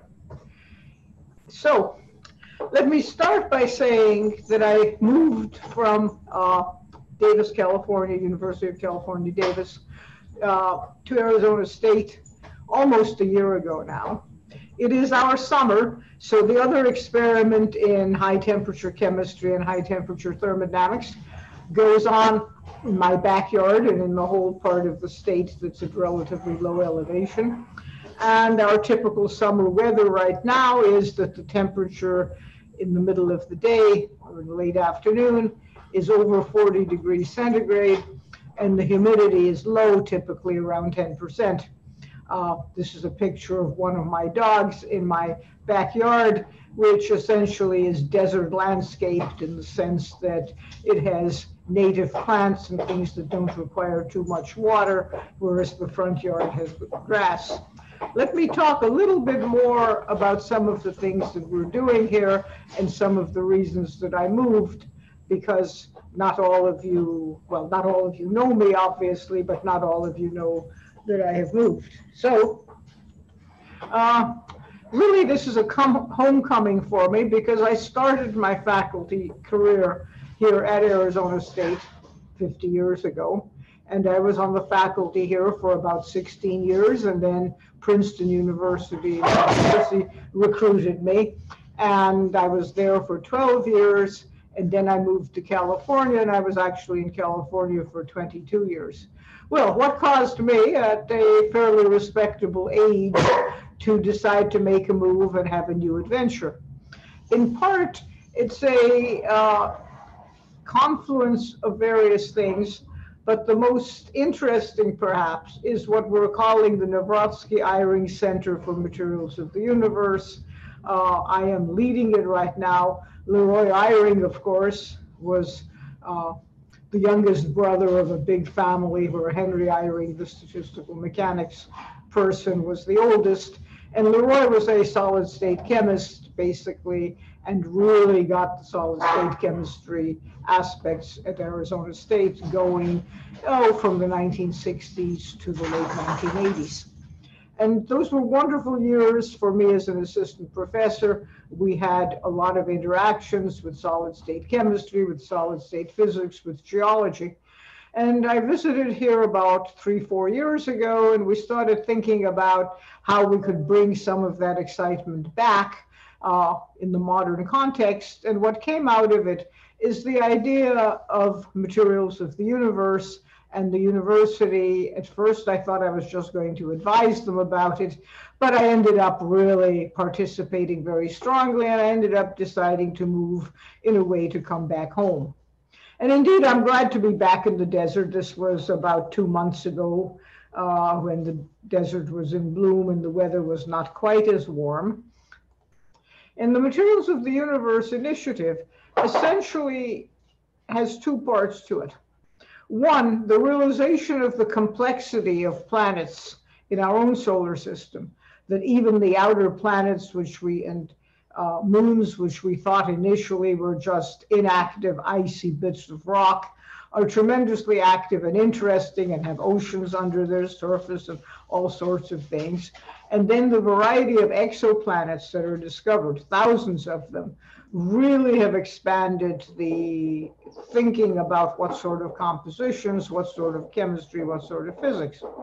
In a sense, the discovery of exoplanets poses the biggest imaginable inverse problem in material science or solid state chemistry. That is a direct problem or a direct investigation is to say, here is the material, what are its properties? The inverse problem is, here are some properties, what is the material?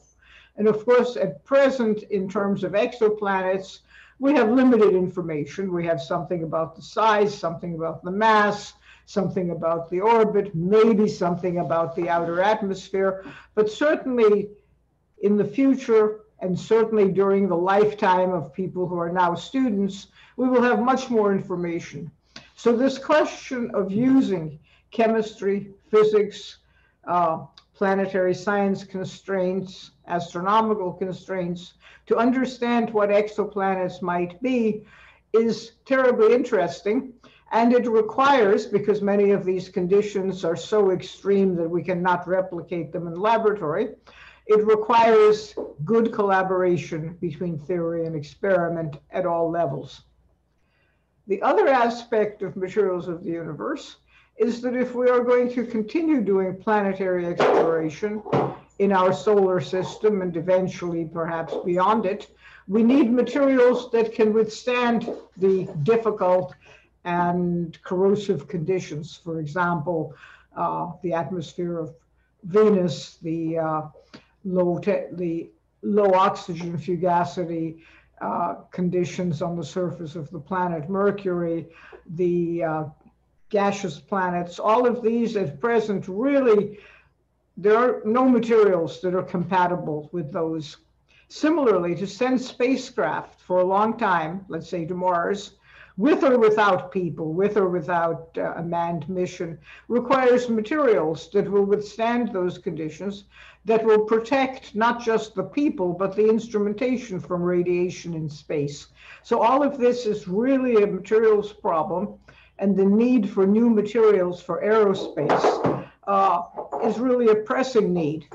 Even here, the notion of corrosion, for example, thermal barrier coatings on engines that are corroded if they fly through volcanic ash or dusty atmospheres. These are problems that have not been completely solved. And these are problems then that require physical chemistry and especially thermodynamics. That is, thermodynamics tells you what is possible and what is not possible. Kinetics tells you how fast it will occur. But if you don't know what the thermodynamic states are, what the thermodynamic parameters are, you have a very hard time unraveling how reactions might happen. So the Materials of the Universe initiative that we're heading uh, is bringing in new faculty, new capabilities, but especially new collaborations. And I certainly welcome any of you that are interested in it to email me and get some more information. We view this, although the immediate center of this is here, we view this really as part of a global effort. So that basically is what excited me about coming back home to Arizona. And we are reestablishing our thermochemistry laboratory here. So having said that, I'd like to get into the major part of my talk. Uh, and the major part of my talk hinges on the fluorite structure. One can think of the mineral fluorite, calcium fluoride CaF2, or one can think of the high temperature cubic form of zirconia ZrO2, or one can think of nuclear fuel, uranium oxide UO2, and all the other tetravalent actinide oxides, or the catalyst material cerium oxide, et cetera, et cetera. And these have a parent structure, which is really very simple. You can think of it as a stacking of boxes. That is, the boxes are cubes, and inside every other cube, there is a central atom. So this one will have it, this one will have it, that one will have it. Uh, and the cubes, of course, are joined by the anions at their corners and that gives you the stoichiometry AX2, or for oxides, AO2. Well, this is the parent structure, and the structure itself has a number of derivatives and a number of reactions.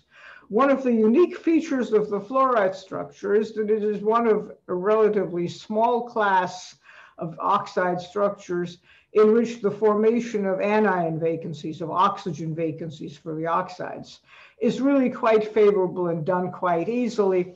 For example, by the substitution of a trivalent ion, let's say yttrium, into the parent fluorite oxide into zirconia to form yttria stabilized zirconia or YSZ, which is a well-known solid electrolyte material and has many other uses as well.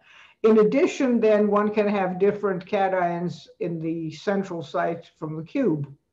Well, again, once one starts doing these substitutions, the simple random cubic structure in which vacancies are arranged at random and substituents are arranged at random is generally not the most favorable configuration, except perhaps at very high temperature. And a very large family of derivative structures has been discovered and characterized really over the last 50, 75 years.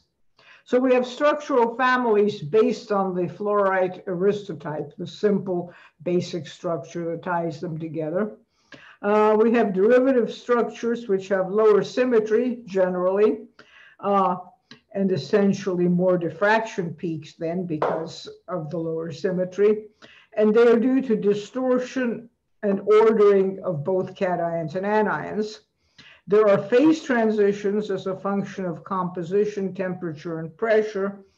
And one can form a large number of metastable materials, for example, by low temperature synthesis, at which there's simply not enough time to get the most ordered structure, by radiation damage, which I'll be talking about, by grinding or mechanochemistry, and by looking at high temperature uh, where some of the disordering will occur.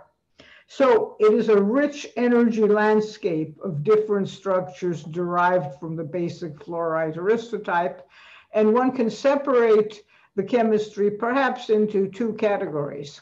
One is equilibrium behavior, and the other is non equilibrium behavior. And the non equilibrium behavior also includes the behavior of materials when the particles are small, that is nanoscale behavior, either when one has separate little particles or when one has a ceramic of very small particle size. And that in turn also affects the thermodynamics. So what I'm going to do now is give you some examples uh, as we walk through some of these to show you both what is happening and what we've done, we and other people have done to characterize it. So the first sort of structure I want to talk about, um, and the structure that I will mostly talk about, is the pyrochlore structure, which is a derivative of, the, of, of essentially the fluorite structure. Uh, and it is of interest, particularly as a durable material um, for immobilization of radionuclides and for performance in extreme environments, high temperature, corrosive environments, etc. And uh, it actually occurs also for a number of optoelectronic and mechanical properties. It then basically is a complex structure and chemical modifications can be made, in particular, then in terms of composition, in terms of the numbers of defects and defect clusters, in terms of the ordering of cations, in terms of partial recrystallization of glass. Many glass ceramics of various sorts contain pyrochlore and zirconolite, which is a derivative, further derivative. And the question then of uh, cation mobility and exchange uh, is a wonderful thing uh, cation mobility, anion mobility are excellent for synthesis. Anion mobility, oxygen conduction is excellent for solid electrolyte properties. But ideally, of course, if one wants a unreactive ceramic that lasts through geologic time, one wants to minimize the motion of atoms. So those are the questions. And then in order to understand these, one needs a combination of techniques. And we have been working on this for oh, almost 20 years now. We were part of a large center, a National Science Foundation Science, uh, Science and Technology Center. Uh, I'm sorry, uh, uh, that was on high pressure. Then we were part of a uh, material science of actinides, a Department of Energy, Energy Frontier Research Center, which brought together a number of groups to work on many things including these fluorite pyrochlore transitions. So that work will be highlighted in the next few slides. So the pyrochlores are then a window into high temperature behavior, order disorder, and thermodynamics. The techniques that we've used to study them in our laboratories center about calorimetry. We have high temperature differential thermal analysis or differential scanning calorimetry, which I will show you some of. It goes up to 2500 degrees centigrade. We also have our own calorimeters for what we are essentially conventional drop calorimeters, except they are not conventional because they drop small levitated samples. Our main technique is oxide melt solution calorimetry, and we couple all of this with structural studies and we collaborate with people who do theoretical calculations, particularly density functional theory and molecular dynamics. So let's talk about the structures. The reason for forming these derivatives of the fluorite aristotype is to get better local coordination for different sized cations and to accommodate the oxygen vacancies. So the questions that one has, first of all, is are the positions of the oxygen vacancies and the positions of the cations random or are they correlated? Secondly, how much order of the cations is there? And if there's a lot of order, then the cation sites become distinct. The ideal pyrochlore structure is a defect structure. Uh, it can be if you write the fluorite structure per eight oxygens, it would be A4O8, keeping the one uh, cation to two anion stoichiometry. If you write the ideal pyrochlore structure, one can write it as A2B2O7, one oxygen vacancy, and two different kinds of cations. In reality, the pyrochlores are much more complicated than that, and I do not have time to go into it. And the structure, though still cubic, uh, has these ordered cations. If one compares the structure to the parent fluorite structure, The parent fluorite structure, again, is just this packing of cubes. And if one looks at the pattern of cations and anions, one has a simpler arrangement. And in the fluorite, ideal fluorite structure, you have only one type of cation site. In the pyrochlore structure, you have several types of cation sites. Some of these pyrochlores are more distorted than others, and one can even define within the cubic structure the distortion parameter or the pyrochlore-like parameter that says this pyrochlore structure is more like a fluorite, this other pyrochlore structure is more distorted. Let me say something about distortions for a thermodynamic point of view. People often say that a structure is destabilized by distortions. That is not actually true. A structure may be, dis, may be destabilized as a function of composition, but at a given composition, if the distortion occurs, that distortion occurs because it stabilizes the structure under that con constraint of composition, temperature, and pressure. So whereas the material may be destabilized relative to some other composition, the equilibrium degree of distortion gives it the maximum stability. And the purpose of the distortion is indeed to do that. And again, then the distortion and the degree of ordering are the major parameters. Again, if we talk about ordering, ordering is a phenomenon which decreases, makes more exothermic the energy of the material, but the price to pay is a loss of configurational entropy. So as indeed even the last talk alluded to, it's a balance. The equilibrium state at a given temperature for a given composition at a given pressure is one which minimizes the Gibbs free energy of the system and the degree of disorder essentially at equilibrium reflects that and in general, then the degree of disorder increases with increasing temperature simply because the entropy term is bigger.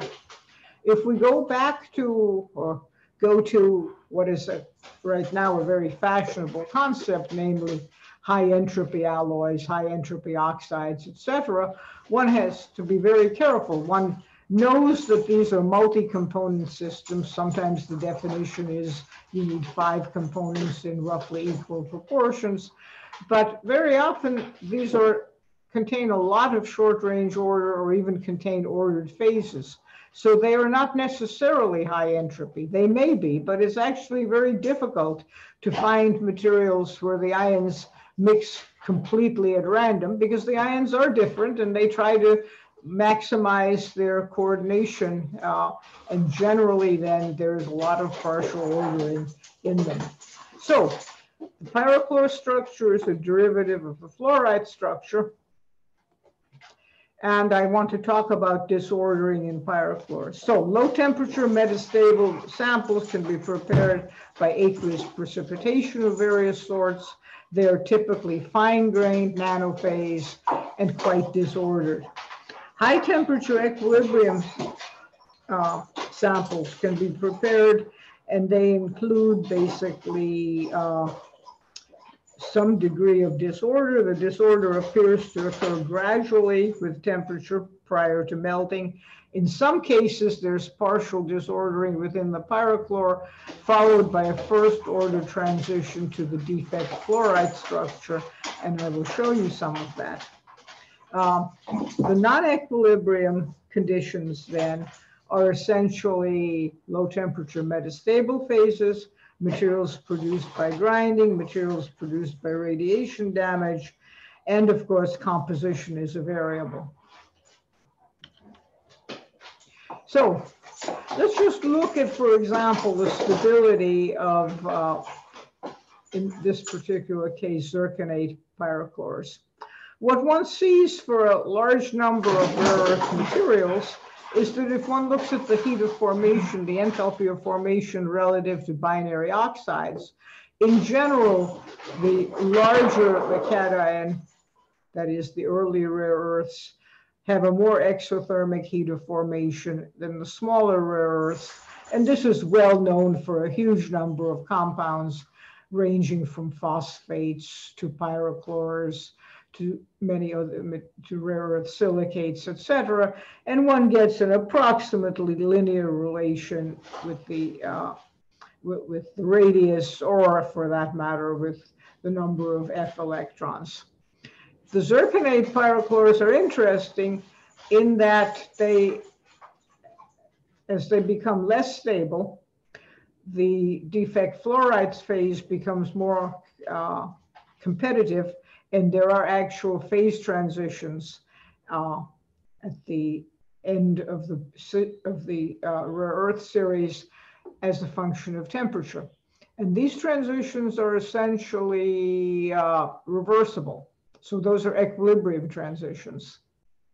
So how have we studied basically the pyrochlores? Uh, we have a combination of structural thermodynamic studies. So X-ray diffraction, particularly using synchrotron X-rays, for example, at the advanced photon source. And there they have laser heating and aerodynamic levitation, which I will come back to, because since some of these order disorder transitions are not quenchable or we don't know to what extent the degree of disorder remains unchanged, it's really desirable to do experiments at high temperature, and we can do experiments up to, oh, about 1700 degrees centigrade, something of that sort. Uh, cooling curves and laser heated aerodynamically levitated samples give us essentially just traditional cooling curves that say here is a phase transition, for example, melting crystallization, etc. High temperature thermal analysis in sealed crucibles to about uh, 2500, maybe 2700 Kelvin to get transition temperatures and enthalpies. And all of these things then go into thermodynamic modeling by CALPHAD and related sort of calculations. And all of these things benefit from first principles modeling of the energetics. I should say also that the high temperature X-ray diffraction, of course, gives us lattice parameters, gives us thermal expansion, gives us volume changes on phase transitions and on melting. And those are other things that we can compare with theoretical values and actually generally with rather satisfactory comparisons. So let's talk about aerodynamic levitation and essentially laser processing. One of the difficulties in doing experiments at high temperature is of course that everything reacts with everything and often quite fast. So there is no such thing as a totally inert container, and that is a real problem. One of the ways of uh, eliminating the problem is to eliminate the container. And it is now fairly easy using commercial levitators, uh, particularly aerodynamic levitation, which is the easiest, simplest, and cheapest. But also one can do electromagnetic levitation, etc., for at least for things that show high thermal and electrical conductivity.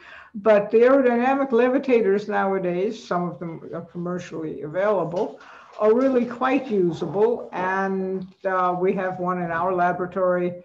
There is one at the Advanced Photon Source uh, in Argonne National Laboratory. There's one at uh, the neutron source at Oak Ridge so that one can levitate small spheres of material heat them with a laser, and study their properties in situ. This has been done a lot for melts. Uh, it's been done for some reason less actually for crystalline materials until recently, but here we focus on crystalline materials. And it is also an excellent way of preparing samples because then one can very rapidly cool the small bead of material and sometimes get metastable phases that you cannot otherwise get. For example, in the silicates, it's a way of preparing olivine composition, Mg2SiO4 composition as a glass, which is not otherwise accessible. Uh, so let's take a look at the pyrochlore to defect fluorite transition in one of the later um, rare earth zirconates, gadolinium zirconate pyrochlore. It's a reversible transition. So the in situ patterns show that on heating, you go from the pyrochlore to the defect fluorite, which at least to x-rays looks pretty disordered. And then on cooling, you come back to the pyrochlore. I may say that because the rare earths and titanium, and zirconium are relatively heavy atoms compared to oxygen, X-ray diffraction is inherently not very sensitive to what's happening on the oxygen sublattice. Neutron diffraction, neutron scattering is much better for that. And I will come back to that in the discussion of radiation damaged materials. But nonetheless, by doing these in situ high temperature measurements on a series of materials, we have been able to document the thermal expansion, the volume change on phase transition, the reversibility of the transition, and in some cases then as well, the melting of the fluorite structure. So the second thing that we have done is use a commercial calorimeter, slightly modified. It's a Setaram Setsys uh, thermogravimetric differential thermal analysis uh, apparatus that normally works to 2400 degrees C, but we've modified it slightly to work to 2500. Uh, it needs crucibles. And that's always a problem because we come back to the container problem. And furthermore, differential thermal analysis needs standards. And one of the things that we realized is that there are no good standards above about 2000 degrees centigrade above the melting of aluminum oxide. It's strange in a way to use the melting of aluminum oxide as a DTA standard, but that's the game we're in. We initially thought that we could use yttrium oxide, which melts at about 2300 degrees as a standard, but there have been, uh, what should I say, uh, the heat of fusion, which we thought we knew, did not make sense in terms of the calorimetry. And that was actually one of the impetus for our drop and catch calorimeter that I will get back to. So anyway, we basically seal our sample in a tungsten crucible and effectively then heat it up in what is a, in a sense, a normal DTA. This DTA works quite well uh, for looking at phase transitions and for getting enthalpies. Again, at temperatures like this, you know, you don't have the accuracy that you have at room temperature or 500 degrees centigrade, but you do have accuracy in which you can get your enthalpies of transition typically with reproducibility of 5 to 10%. Temperature measurement is still somewhat problematic. One, we use a multi-color uh, pyrometer for it. We also use a set of secondary standards. So it's difficult experiments. We are still improving them, but we are able to get reasonable results. So if we go back to the basically pyrochlore to defect fluorite transition uh, in two zircon zirconates, and we correct for the baseline, we basically get quite respectable thermal analysis peaks, quite respectable areas a little bit of hysteresis. The transition occurs at higher temperature on heating and at lower temperature on cooling, which is quite normal. The areas under the peaks are quite comparable, so uh, opposite in sign, comparable in magnitude, and we get then the uh, enthalpies of the transitions. The thing we can do immediately having those enthalpies of transition is and the temperature of transition, since this is a reversible transition, the thing we can do immediately is get the entropy of transition. And then we can compare that entropy of transition with what one would get if one went from the pyrochlore to a defect fluorite structure in which the oxygen vacancies were completely disordered and cations were completely disordered. And what we find is that the entropy is observed experimentally is considerably smaller, smaller by 50, 60, 70% than the full configurational entropy. So this means probably one or both of two things. One, that there already is some disordering in the pyrochlore structure before the transition, and I will show you that. And two, that even the defect fluorite contains some residual short range ordering. I'll come back to that when I talk about uh, the radiation damaged materials. At any rate, we get pretty interesting thermochemical data. We have used the high temperature, uh, essentially the high temperature um, structural studies to create a thermodynamic model for the disordering. And the thermodynamic model essentially takes the cation distributions and oxygen distributions that we've measured from the synchrotron diffraction and fits them to a simple model of the disordering. And this is the simplest possible model that says that on the cation sublattice, uh, the degree of disorder is determined from the site distribution. We assume the cations are at random. Similarly, on the anion lattice. And we then calculate a configurational entropy. For the cation sublattice, it's fairly straight, straightforward for both. For the cation sublattice, it's a simpler formula for the anion sublattice just because of the number of anions in the distribution and the fact that one anion does not, one oxygen site does not participate in the disorder. It's a little bit more complicated, but it's sort of straightforward statistical mechanics. We then can use the site distributions that we get to calculate effectively the degree of inversion, the cation disorder and the anion disorder as a function of temperature. And we have data, good data for three systems and not so good data for two more, out of which we can then fit using the simple model that I showed you in the last slide, what the enthalpy of interchange would be. This is analogous to what we did for spinels uh, way back in my thesis work. And basically we get then an enthalpy associated with the cation exchange and enthalpy associated with the anion exchange. And interestingly, the difference between the different compositions uh, it's a little beyond experimental error, but it's not big. So it seems like the disordering here within the pyrochlore phase follows fairly, uh, you know, follows fairly clear systematics and perhaps these values can be used to predict other materials as well. So that was an example of an equilibrium phenomenon. That disordering is reversible. It occurs in situ at high temperature. There are other ways to disorder the pyrochlore structure. One is by grinding, mechanochemistry, and the other is by radiation damage. And of course, the radiation damage is interesting from the nuclear waste point of view.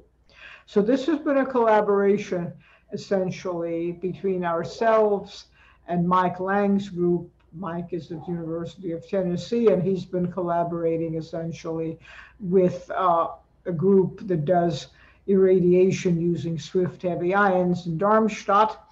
And he uses the neutron source uh, at Oak Ridge to look at the structures of the radiation damaged materials, so neutron pair distribution functions. He's also measured ionic conductivity at University of Tennessee at Knoxville, and the ionic conductivity follows the disordering and the ordering. We did calorimetry at UC Davis, and Mark Asta did some computations I'm not going to talk about. He's at University of California, Berkeley. And the goal is to then the understand to understand the microscopic and structural basis of transformation upon damage and annealing. And the case study we have, the system we studied the most, was dysprosium titanate. So again, if we just say what we did basically, uh, samples were irradiated in Darmstadt, and then they have to be allowed to cool down somewhat to get rid of short-lived isotopes, and then they're ready to be handled for structural studies, neutron diffraction studies, etc. Uh, we do neutron studies at Oak Ridge. And basically, this is now a pretty well established technique. Most of the studies have been done at room temperature, but a few high temperature studies have also been done, which I will not talk about. We do calorimetry using our custom built and now commercially available high temperature Calvet type calorimeters. The commercially available ones are the AlexSYS, which I believe Sandy Khvan has. And the experiment consists of dropping a small sample, a couple milligrams of sample from room temperature into a molten salt solvent, typically a sodium molybdate melt at a temperature of either 700 or 800 degrees C, and then measuring the enthalpy associated with the process which heats up the sample and dissolves it in the solvent. And the differences in the enthalpies of drop solution then give us the enthalpy uh, difference, give us the enthalpy of whatever transition we're looking at. So what we wanted to do was look at the radiation damaged samples and then look at the samples that were damaged and then annealed at different uh, temperatures for different times and this led to a number of surprises, particularly uh, when one looked in detail at the neutron pair distribution function. So the idea is that you start off with a pyrochlore structure, you damage it by radiation, and you get a material that is amorphous to X-rays. You can also get a material by grinding, which is a defect fluorite structure. When you anneal the radiation damaged material, you get perhaps a defect fluorite structure, you go back to a pyrochlore and you would like to look at what these different energetics are. This is schematic and it turns out that the real situation is more complicated. So that's what I'm going to be showing you in the next few slides. So if we do the drop solution calorimetry of the initial undamaged and the irradiated sample, we get a very large difference. That is, the enthalpy of absorbed by the sample to amorphize it is really quite large. If we then do some differential scanning calorimetry on it, and I will show you this conventional DSC up to a thousand degrees, uh, we get a pyro, what looks like a pyrochlore phase to laboratory X-ray, but in fact, we don't get back all of the energy that we put into the sample. We get back about half of it, which means that there is still some sort of damage, some sort of disorder that occurs. And this is completely in keeping with the structural studies. So we did differential scanning calorimetry on the damaged sample. And we found that essentially in a normal DSC scan, we get an exothermic crystallization peak at about 800 degrees C. But that peak has a long tail going up to 1200 degrees C or so. Uh, we would have liked to do more studies, but again, even with the Darmstadt irradiation of samples, the amount of sample one has is limited, so we could not immediately go back to this. But nonetheless, this peak accounts for about a third of the total damage energy in the sample. This whole peak maybe accounts for about half. So clearly then the sample after it's been heated to 1000 degrees or even 1200 degrees C, although to laboratory x-ray it looks like pyrochlore, something else is basically going on in the material. And we don't know if we were to anneal it for months, whether it would go all the way back. Now, the exciting part comes from the neutron studies. Neutron studies are sensitive to the oxygen positions as well as to the cation positions.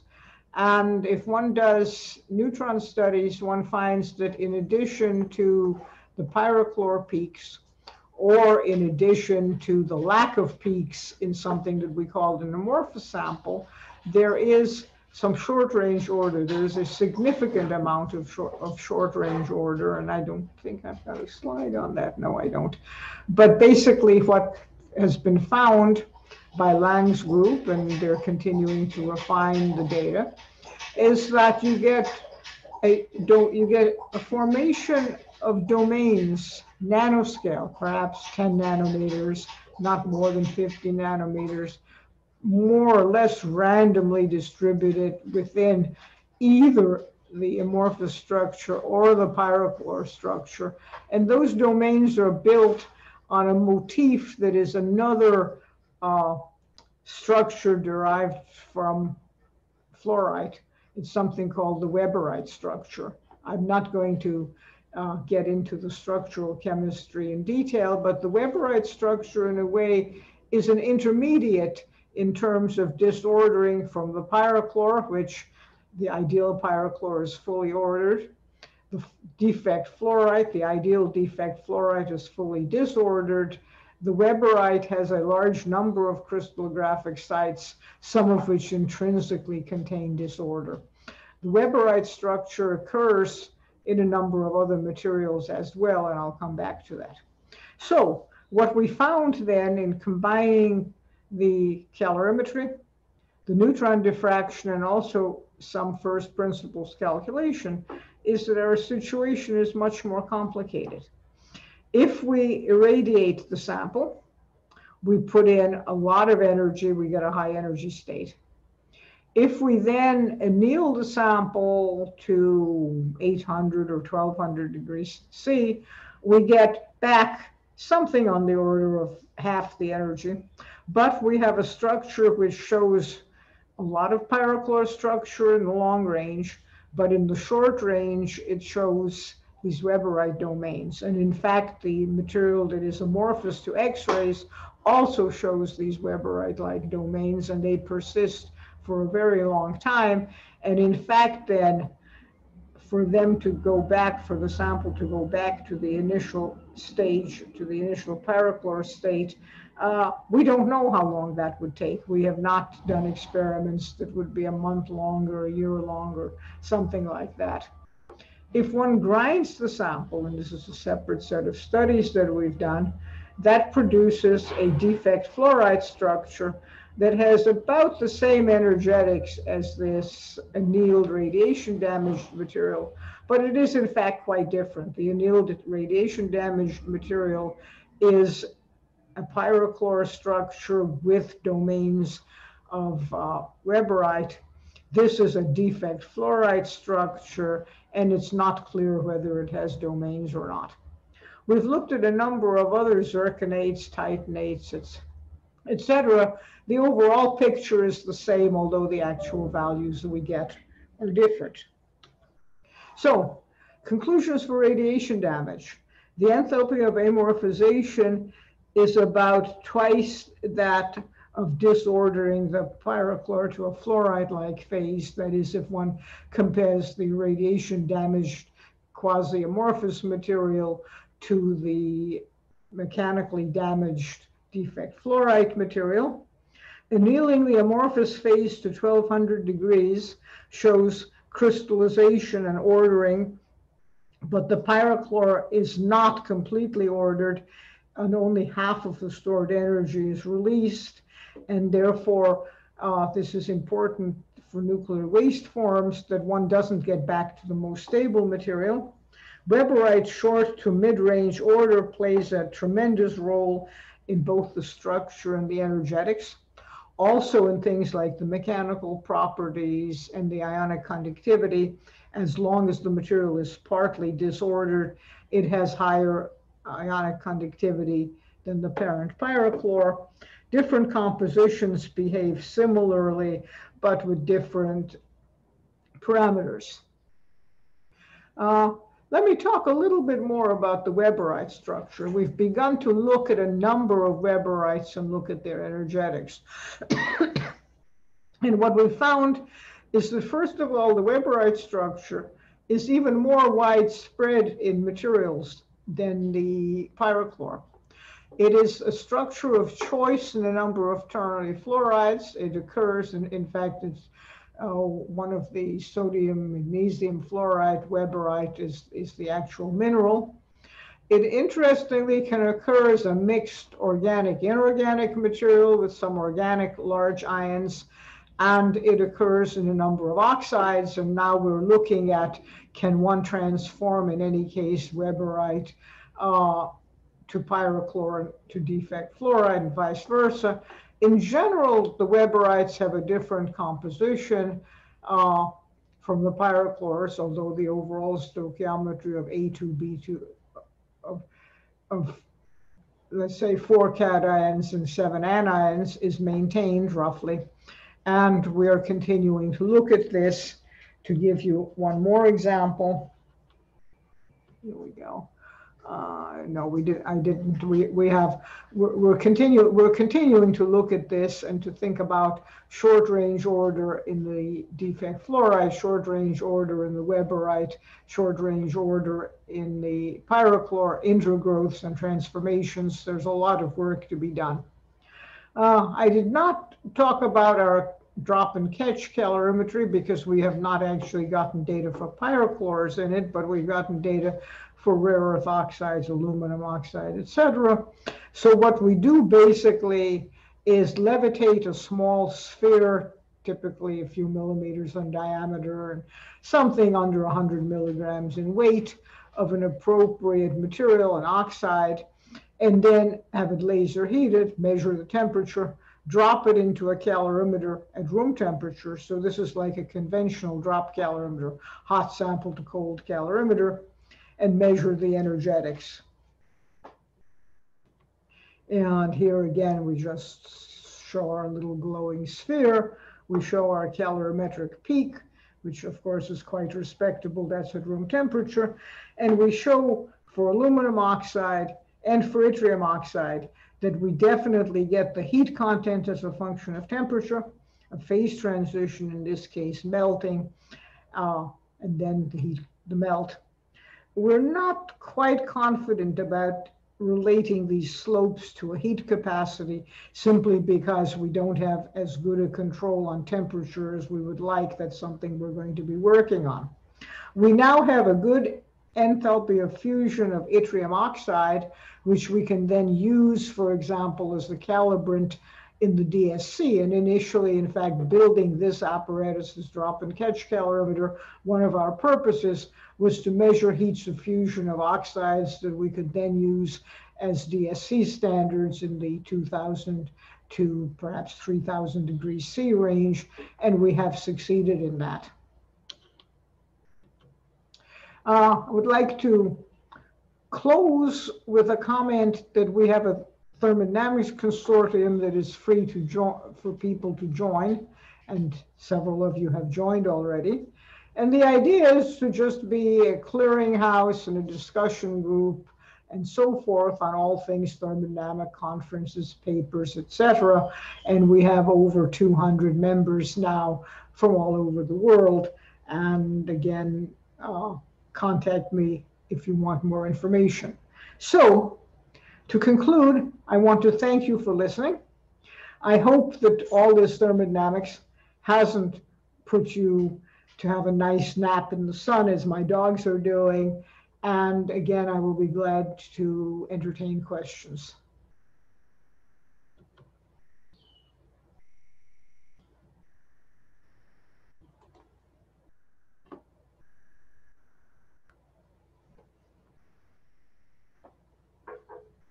A second. Uh, thank you for your talk, Alexandra. Um, questions? Okay, while our colleagues are looking for, um, there is a question.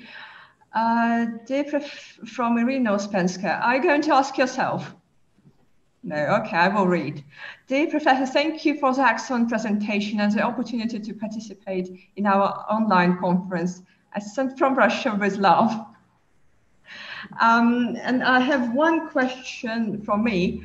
Um, you have shown the DTA for 2500. Um, and uh, uh, how did you reach these temperatures? Have you changed the furnace? Uh, no, it was in fact a software problem. Oh, they, they had they they had a limit of 2400 just to be on the safe side. They said, well, we can probably run it to 2500. It might shorten the life of the furnace and so on. But they went in there and they fixed the software for us. Okay, thank you. Can one can one go even higher? I don't know. Uh, we have, of course, of course, our, our sample holders and our thermocouple, I mean, the main limitation actually is thermocouple drift. We use tungsten rhenium thermocouples because, of course, with the tungsten crucibles and so on, we have to have, you know, uh, we have to have reducing conditions and anyway we're above the platinum alloy range etc so i think you know thermocouples are a problem and uh, that they age and at higher temperature, they age faster. The detector ages as well, so one needs to try to do calibrations, sometimes with an internal standard. If you can put in an internal standard, it doesn't react with either your sample or the, or the container. But it was not actually a calorimeter limitation. Okay, thank you. Um, there is two questions, one from Alex Pisch. Alex? Yeah, thank you. Thank you for the great talk. I have a, a question about the tungsten crucibles. Uh, you, you, you said that you have a, a, protective gas outside, so there won't be any reaction outside of the crucible. But inside the crucible, you have an oxide, which at yeah. higher temperature may release some oxygen and react uh, with the, the tungsten and, and make uh, tungsten oxygen gas species that that may then go into your crucible.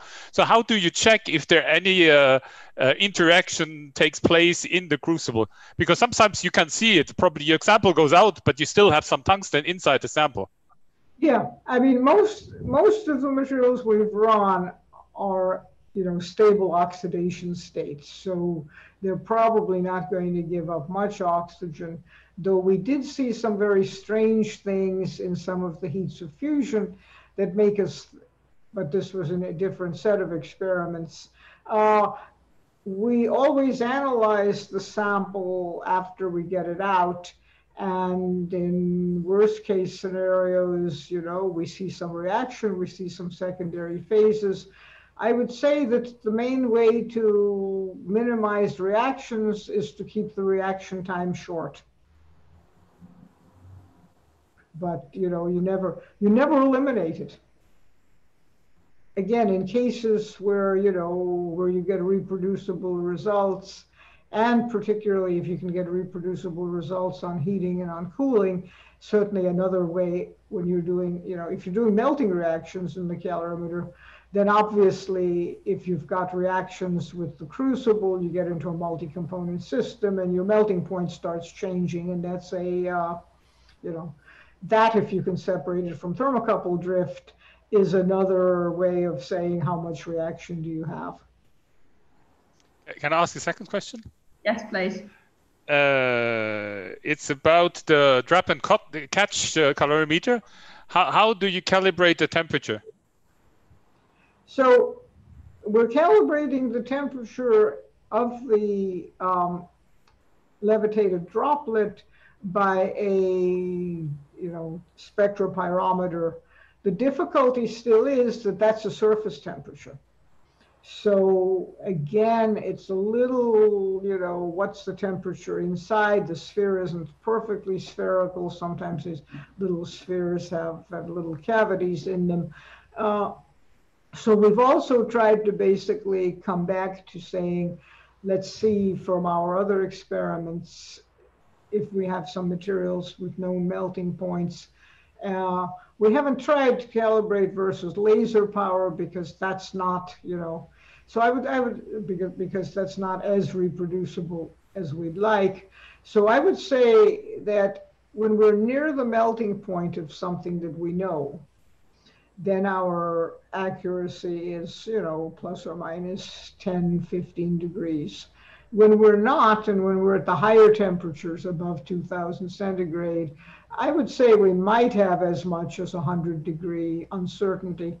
Uh, it's not going to matter very that much in terms of our heat fusion that we measure because it's that different, because the calorimetry is done at room temperature. So the sample drops in, and as long as we have the same heat loss, et cetera, et cetera, which is another set of discussions, but we could get the alumina data, you know, which were measured before, we could get it quite accurately so that change in the heat content curve is accurate.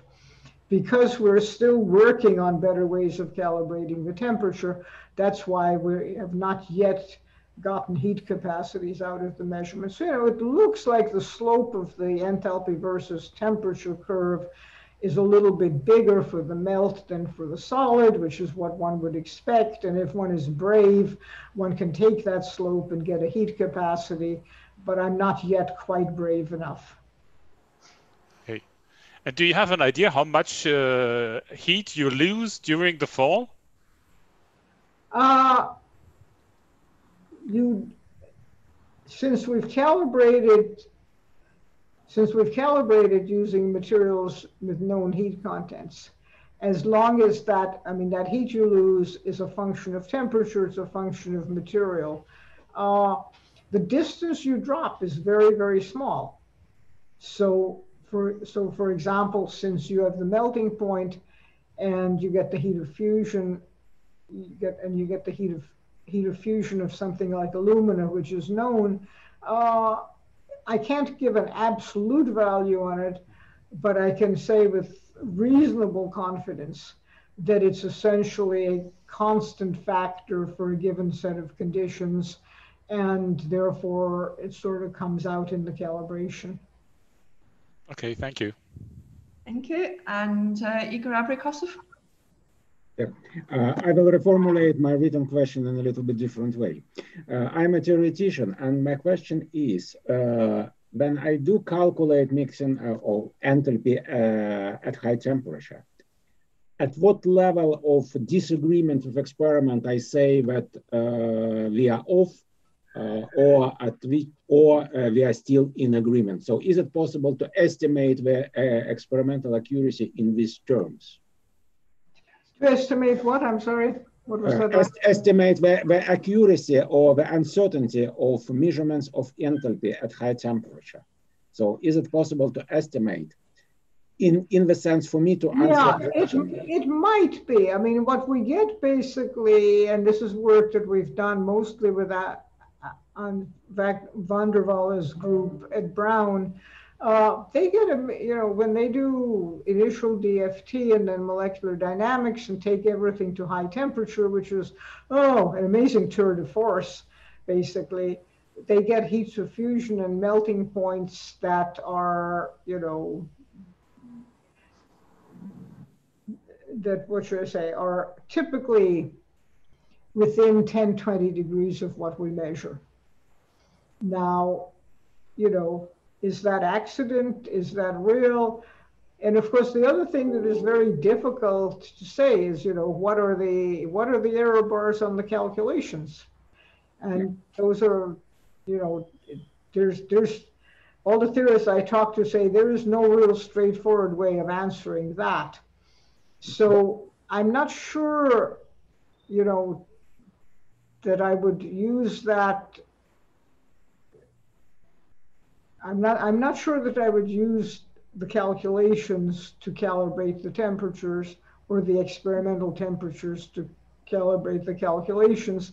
I would say when both of them are, you know, within a few tens of degrees of each other, and what's rather amazing is the heats of fusion are also within 10% of each other. Well, we're either doing things right or it's an accident. But the more the more systems you do, the more the more confidence you have.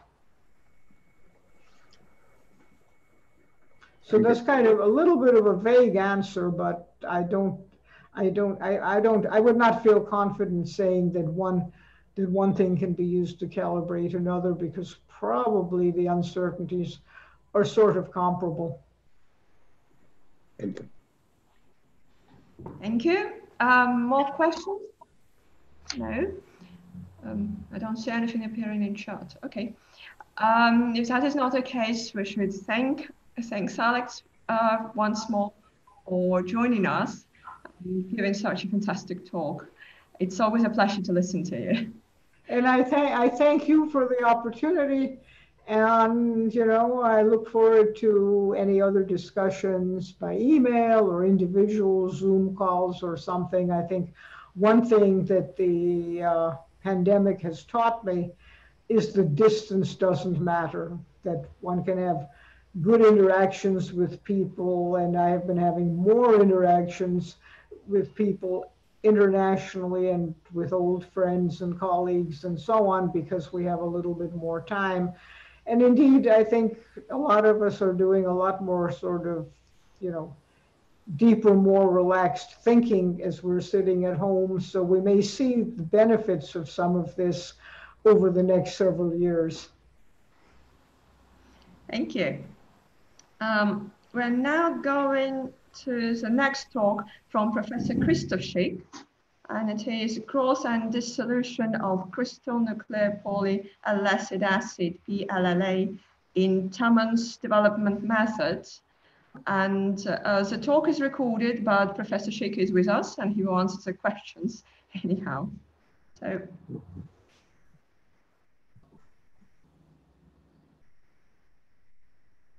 Alexander, are you opening it? Just a second, please.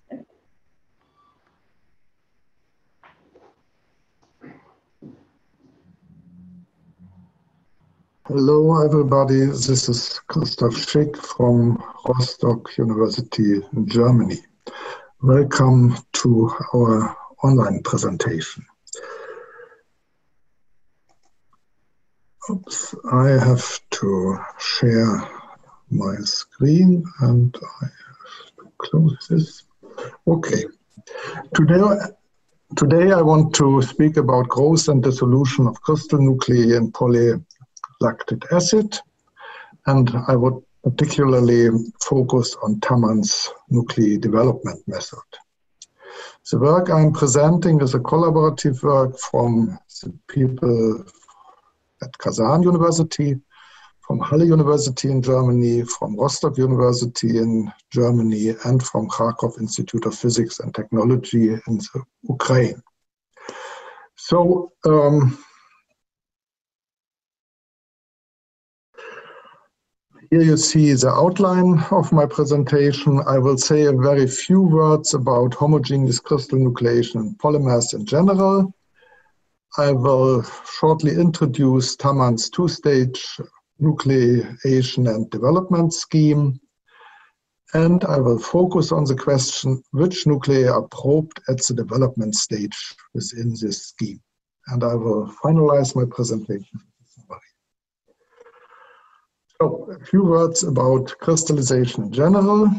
You all know if, for example, sodium chloride crystallizes the atoms are arranged on a three-dimensional lattice, and we have a very uniform and highly organized structure.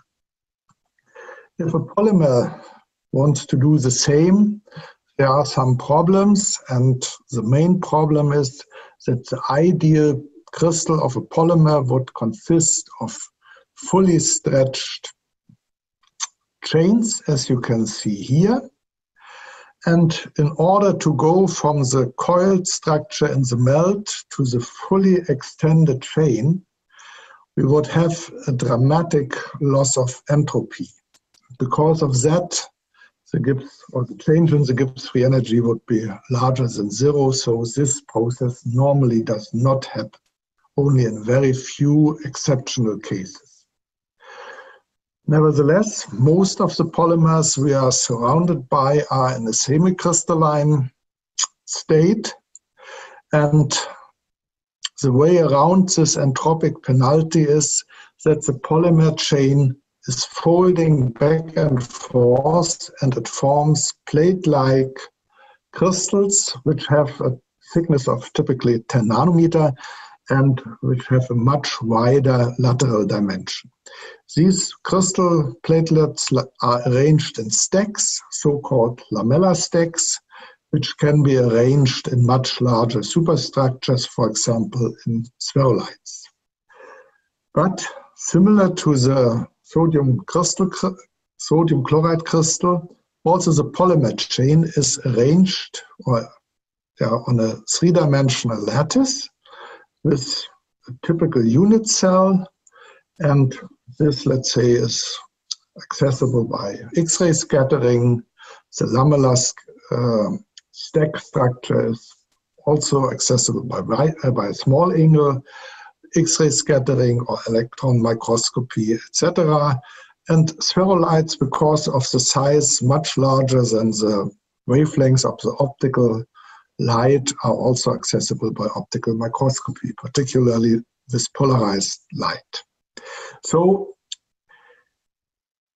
the way how the polymer goes from the uh, coiled conformation in the melt to this semi-crystalline lamellar stack morphology is still under debate. And this is something I don't want to touch today, but I want to focus on the fact that each of these super molecular structures, as a spherulite, for example, needs a primary nucleus to grow. And this primary nucleus is commonly uh, just in the center of the spherulite.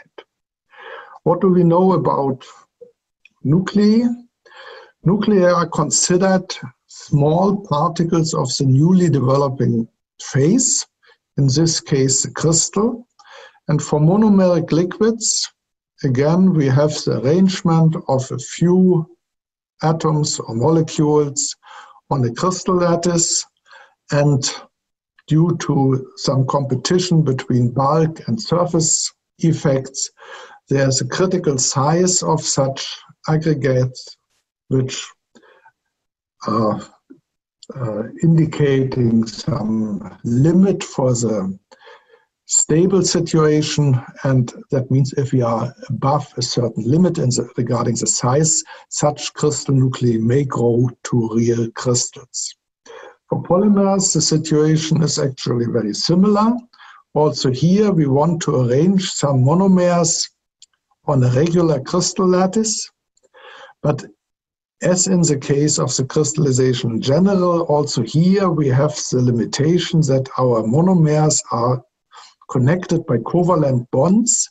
And that means we have a direct connection between the, say, um, nucleus of the new phase and the surrounding liquid phase, also in, of the melt in our case. And this causes some additional difficulties and also some particular situations for the nucleation and polymeric liquids. Muthukumar illustrated this uh, very nicely based on some computer simulation. And he showed that even with also along one single polymer chain, there is a chance that there are several nuclei developing. And there is some then some um, competition between the nuclei, and finally, a very few will survive and maybe even less crystals will finally grow. But as you can see, one polymer chain may be even part of two different crystals.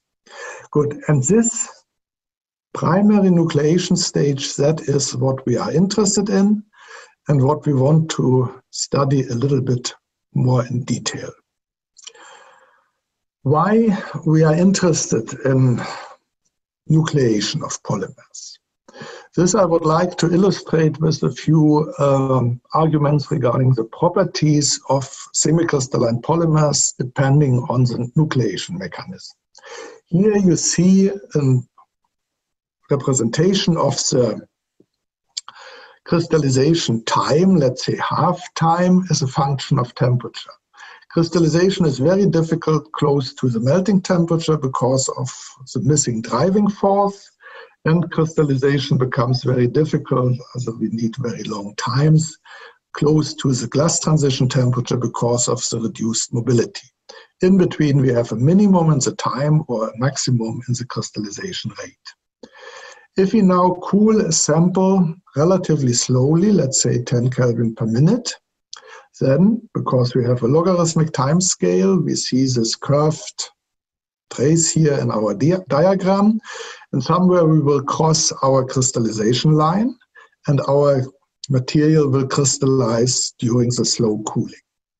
What we observe in an optical microscope are the typical spherulitic structures.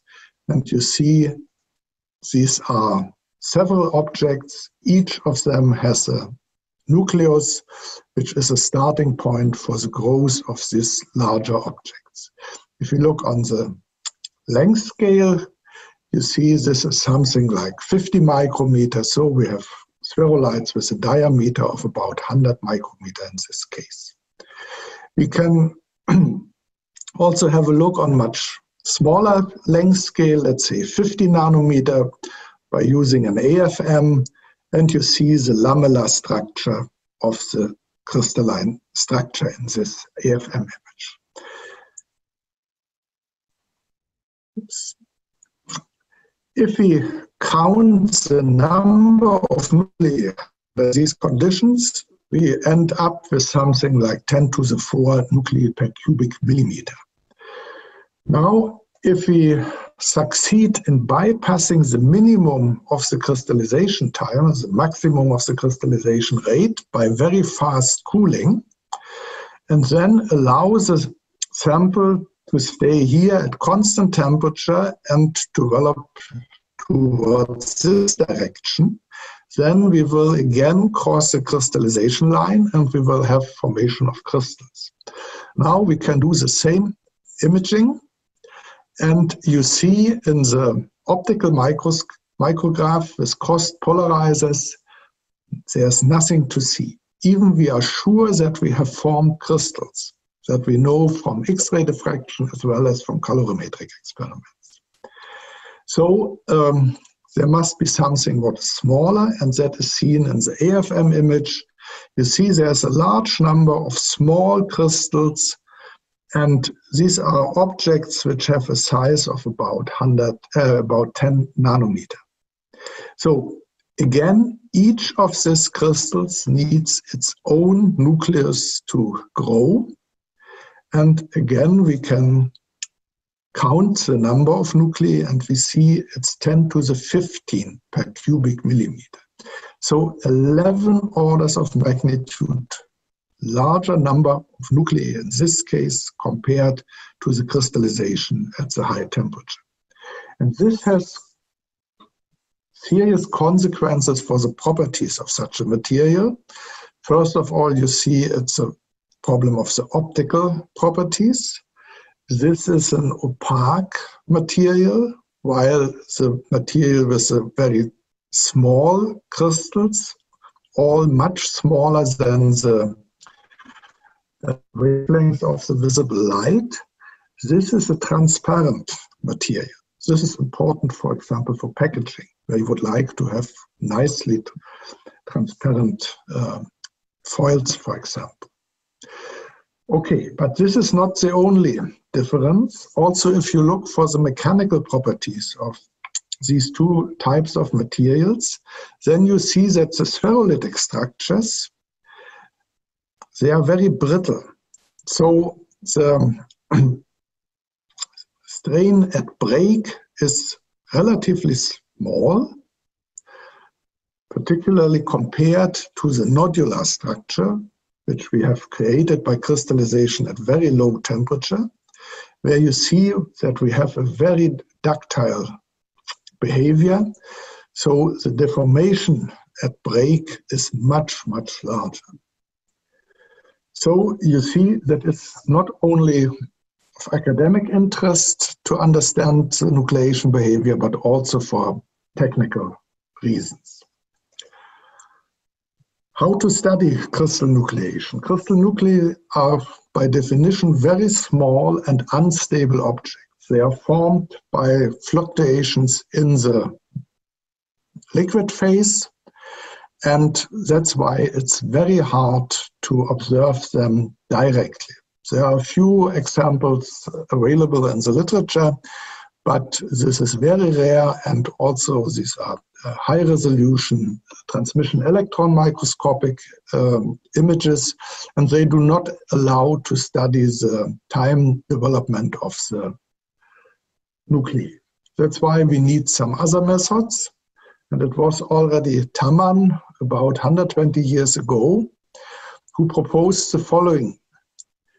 He observed that the maximum of the nucleation rate, the nucleation rate is shown here in red, that the maximum of this curve is very often at significantly lower temperatures compared to the maximum of the growth rate of crystals, which is shown here in blue for glycerol.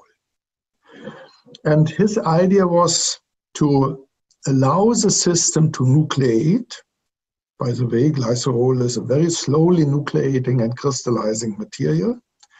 So he allows the system to form some new crystal nuclei here at around minus 60 degrees centigrade. Then he jumps to something like zero degree centigrade to allow these nuclei to grow to crystals, which he could observe in an optical microscope. This is a basic idea of this nucleation and growth uh, scheme proposed by Tammann. Here it is shown now as a function of undercooling. So we create nuclei at large undercooling, then we jump to a temperature which is higher, so at lower undercooling, and observe the growth of the crystals starting from the nuclei which we have formed here. Such experiments we can not only uh, perform by using microscopy, we can also identify the crystallization starting from existing nuclei by calorimetry. And the scheme of such an experiment is illustrated here. It's a paper by Oguni, also already 24 years ago. And the idea is the following. Again, here as a function of undercooling, we have the nucleation rate or the typical time for nucleation, and here the typical time for crystallization, for growth. And now if we use a constant nucleation time, and we do it at a temperature where we do not cross this nucleation line, we will not create nuclei. If we choose a temperature where we cross a line, we will create some nuclei. The same for run number three, and for run number four, we will again not create nuclei. If after this nucleation treatment, we quench our sample to low temperatures and perform a heating experiment relatively slow heating rate, let's say 10 Kelvin per minute, then you see the outcome here in this part of the slide. If there are no nuclei formed, as in run number one, then we see the glass transition and nothing else.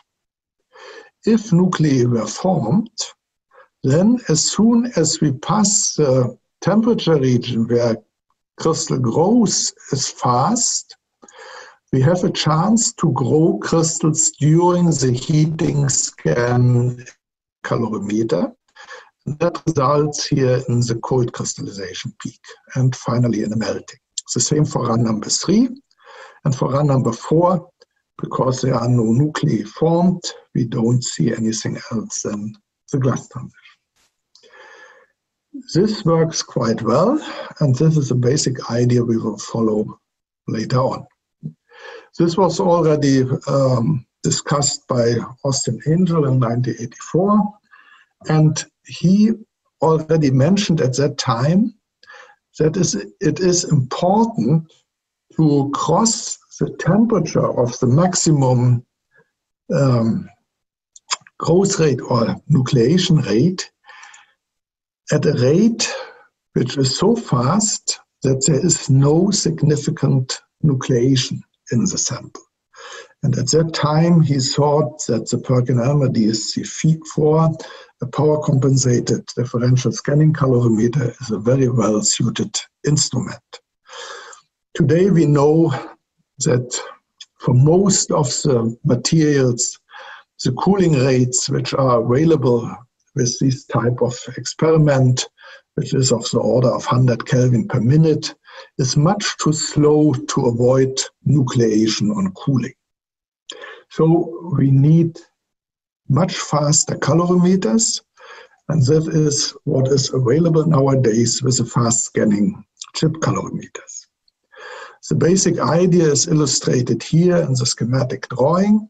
We have a silicon frame, the gray part, and we have a freestanding silicon nitride membrane on top of the frame. And in the center of the freestanding membrane, we have heaters and thermometers or the thermopile. And if we place the sample directly on this heated area, we can use such a device as a calorimeter. Here you see photographs of the real device. On the transistor housing, you see the silicon frame, the black part and the freestanding membrane. Here you see the same a little bit enlarged. Now the frame is green. Here the freestanding membrane and in the very center of the membrane is a heater and the thermometer, which is shown here in even more detail. The two thick lines are the resistive heater made from doped silicon. And here you have six thermocouples which form a thermopile, again made from P and N doped silicon. The cold junction of the thermopile is here on the frame. So what we measure is the temperature increase relative to the temperature of the frame. And here you see a typical polymer sample on such a sensor. This is a sample of about 20 nanogram, and that gives you also an idea about the sample mass we are using. So, how to study homogeneous nucleation kinetics? As I told you, we follow Tammann's two-stage experiment. We have a nucleation stage and we have a growth stage. And in between, we have some cooling and heating, and again cooling. And at the very end, we have an analysis heating scan. And the idea is the following. Here at the annealing at the lower temperature, we form nuclei. And in case that this temperature is below the glass transition temperature, then we will also have some enthalpy relaxation. This we can see in the heating scanner one, which is shown here.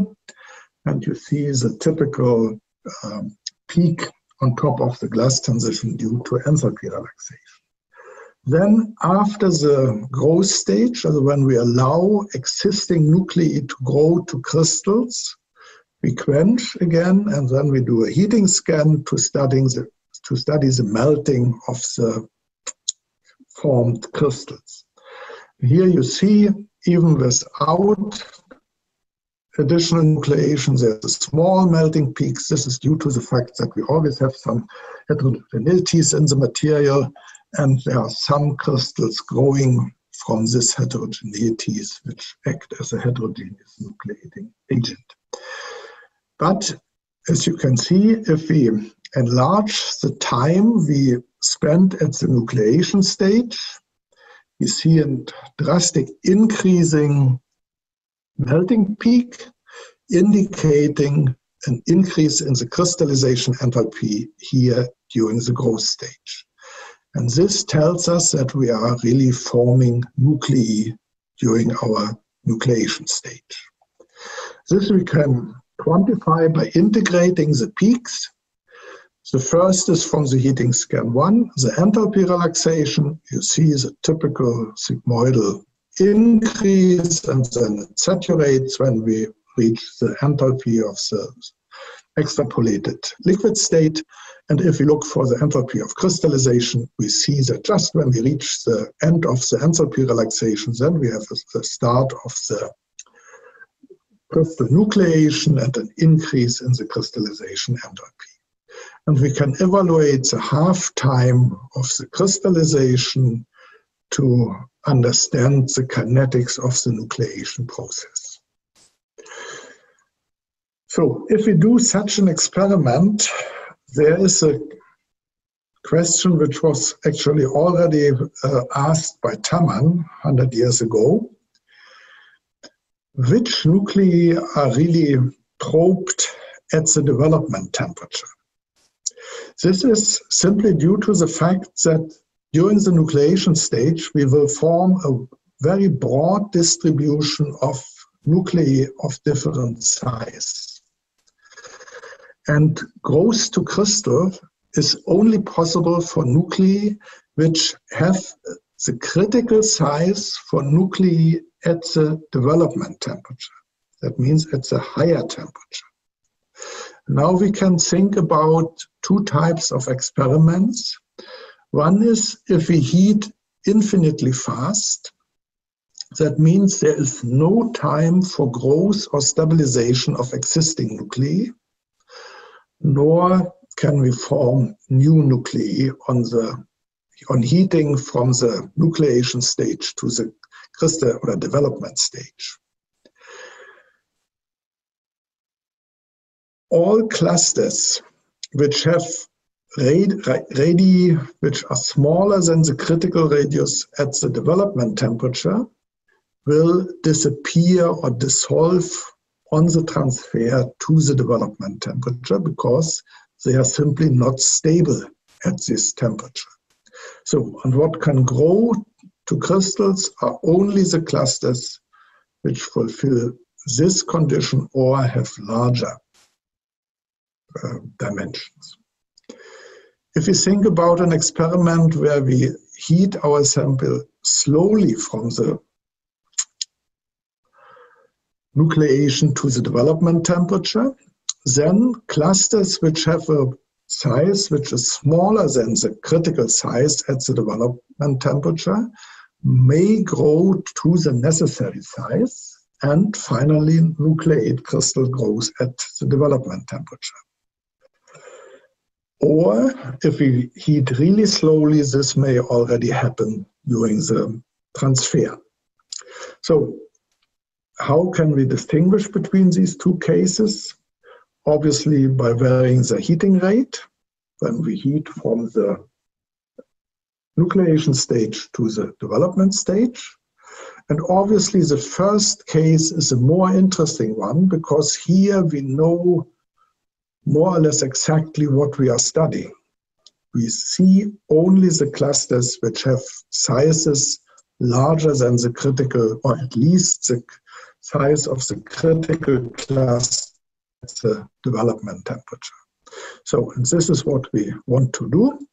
And if we look around in the literature, we recognize that there is not too much information available about such kind of experiments.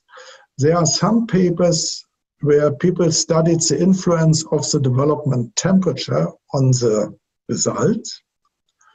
Particularly Fokin from St. Petersburg did a large number of studies on silicate glasses. And due to some, let's say, experimental limitations, uh, such studies are basically limited to very slow crystallizing um, materials. The influence of the heating rate is much less studied. There's one modeling work in the framework of the classical nucleation theory, where Davis in 2001 uh, already asked the question, what happens if we change the heating rate? And there is a first experiment by Zhuravlev and Schmelzer in 2015 from the Rostock group, where we used a quite wide range of transfer heating rates but unfortunately, at that time, we had a badly chosen material. Uh, it was much too fast crystallizing. And then there was another paper by Deubener in 2017, but the heating rate range was very limited, and so the conclusions were not too much. So our approach today is using fast scanning calorimetry in combination with a slowly nucleating and slowly crystallizing material.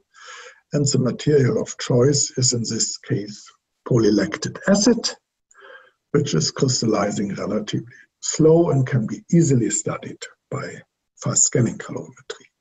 So here you see the idea of the experiment.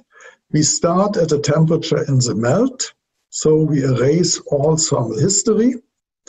Then we quench at, let's say, 1000 Kelvin per second, which is much faster than needed to prevent nucleation and cooling. Then we have an annealing stage for nucleation. In our case, we focus on 60 degrees centigrade and we vary the time for nucleation and we vary the heating rate when we go from the nucleation stage to the growth stage. And the growth stage is fixed to 125 degrees centigrade and 70 second. That means we are allowing the crystals to grow a little bit, but not too much, as I will show you in a minute. Then we quench down to room temperature again. This allows us to do some optical microscopy and some AFM studies with a particular combination of AFM and fast scanning calorimetry. And after that, we are doing the analysis heating scan to see how many crystals were formed at the growth stage. Here you see a typical result. This is for the nucleation at 60 degrees centigrade for 800 second. And this particular development conditions. And now you see the curves for different atmosphere heating rates. And you see in this materials, if we heat very, uh, if we do not nucleate, there's nothing. And if we nucleate for the given conditions here, we see there's a heating, uh, there's a melting peak. And for the slowest heating rate, this is a very large melting peak. And with increasing heating rate, this peak decreasing and finally reach some kind of saturation here at the end. Again, we can quantify this by integrating the melting peak. And now you see for the nucleation at 60 degrees centigrade, what we get. If we do not nucleate the sample at all, the black squares, then you see at very slow heating, everything happens on heating. So there's actually no difference what we are doing before with our sample. And then if we increase the heating rate, immediately there's no nucleation and crystallization during heating and we reach a value close to zero, let's say at rates a little bit above 100 Kelvin per second. Now, if we anneal longer, you see this decrease shifts to higher heating rates. And for 500 second annealing, you see we have we need already something like a few thousand Kelvin per second to reach the near to zero level. And for 800 second, you see even at the highest heating rates, there is still some crystallization. That means here we have a situation that there are some nuclei surviving the heating process, even at the highest heating rates. Now, if we nucleate for longer times, you see we increase the crystallization enthalpy in other words, since the growth conditions are always the same, also each nuclei grows for the same time under the same condition. In other words, we increase the number of growing crystals. And you see that continues at 2,500 second and even at 10,000 second, we have another increase in the number of nuclei growing to crystals at the development stage. Let's focus on the heating rate of 10,000 Kelvin per second. That is already here in this plateau. And this tells us something about the nuclei which have already the critical size at the development temperature reached at the nucleation stage. So, and 10,000 Kelvin per second is high enough. You see the critical cooling, uh, heating rate, sorry, uh, for preventing stabilization of the nuclei on heating is something like two, 3,000 Kelvin per second. So with 10,000 Kelvin per second, we are fast enough. And we can plot the crystallization enthalpy as a function of the nucleation time. And we observe a curve here, black, and we can think about what would we expect to see. From the classical nucleation theory, we know that at the beginning of the nucleation stage, there is some transient state where we start to form some nuclei. And as I told you already, nucleation is a stochastic process, so nuclei appear, disappear, and so on. And it takes some while until we have um, steady state nucleation. And the steady state nucleation should result in such a linear increase of the number of nuclei with time. So, and this beginning, as the change from something like um, transient nucleation to a steady state nucleation, we can probably see, but very early we already see a serious deviation from the steady state behavior. we would expect that this curve continues along the red line. So what's the reason for this? Let's have a look on the predictions from the nucleation theory. And for the PLLA and a development temperature of 125 degrees centigrade, we expect the number of overcritical clusters. This is a blue curve here, as indicated here. And you see the time needed for this induction time is something like 700 seconds. And already after, let's say, uh, 1300 seconds or so, we would reach a number of nuclei of 5 times 10 to the 24 per cubic meter. What does it mean, such a number? This, also 10 to the 24 per cubic meter means that we have a distance between neighboring nuclei of about 10 nanometer. This is approximately what we have seen for the nodular structure in the AFM images. So you see, after let's say 1000, 1300 seconds, we have already a very large number of nuclei, and there's basically no space for growth. So these many nuclei can grow only very little. And as soon as they touch each other, we have impingement, and then there is no further growth or very limited further growth. And this is probably what we observe in our curves. So we have the steady state nucleation, and then if the number becomes too large,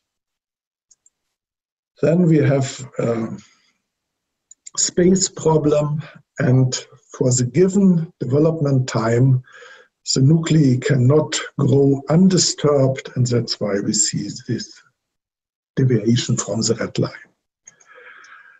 If we look on the optical images we have collected for these samples, then there's an interesting observation you see here for 800 second or 1000 second, where from the calorimetric data we see already large number of nuclei. There's basically nothing seen here for, for the optical micrographs.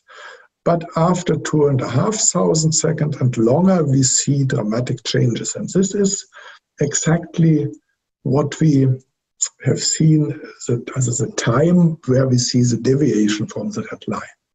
So we have also tried to, uh, to look in a little bit more detail on the structure of these samples with an AFM. And you see here AFM images taken after uh, the development stage. And you see here in this image, for example, small crystals which have a size of about 100 nanometer. And obviously, as soon as we reach a nuclear density where the distance between nuclei is only 10 nanometer, there is not enough space to grow crystals of 100 nanometer. Okay, what we see is after 100 second nucleation, there's nothing. That's shorter than the induction time.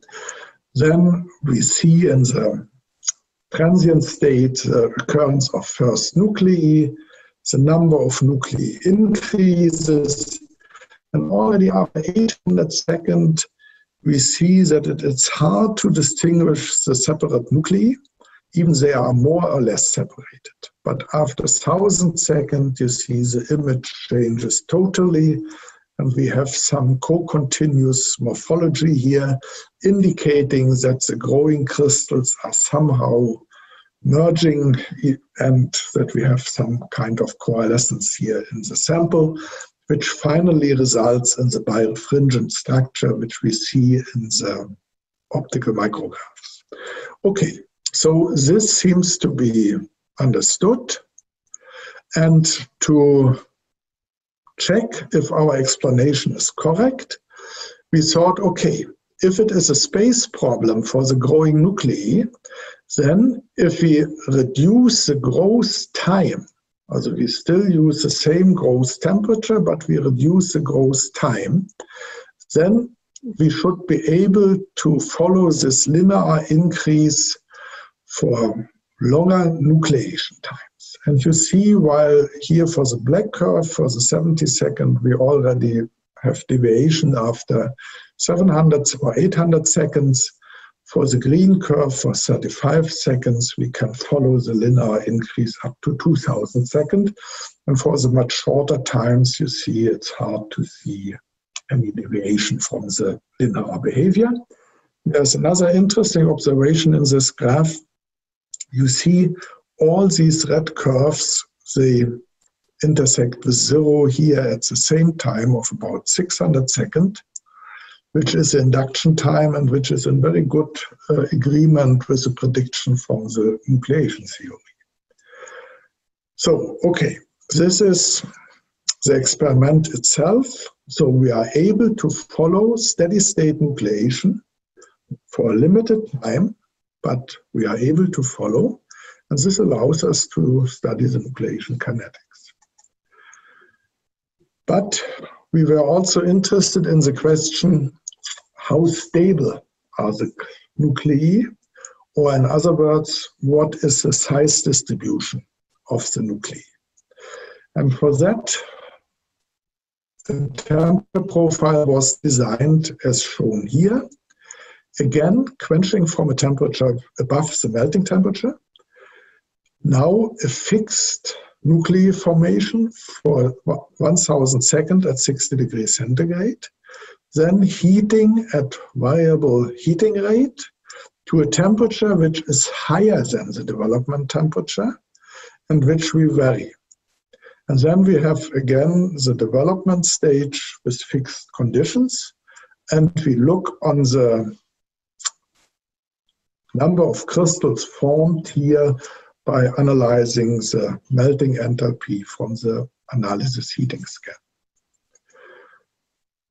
Here you see the result.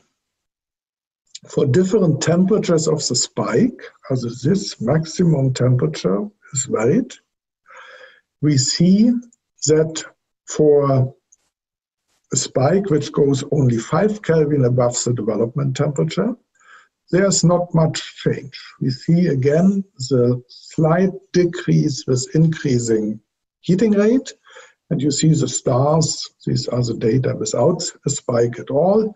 So basically not much happened.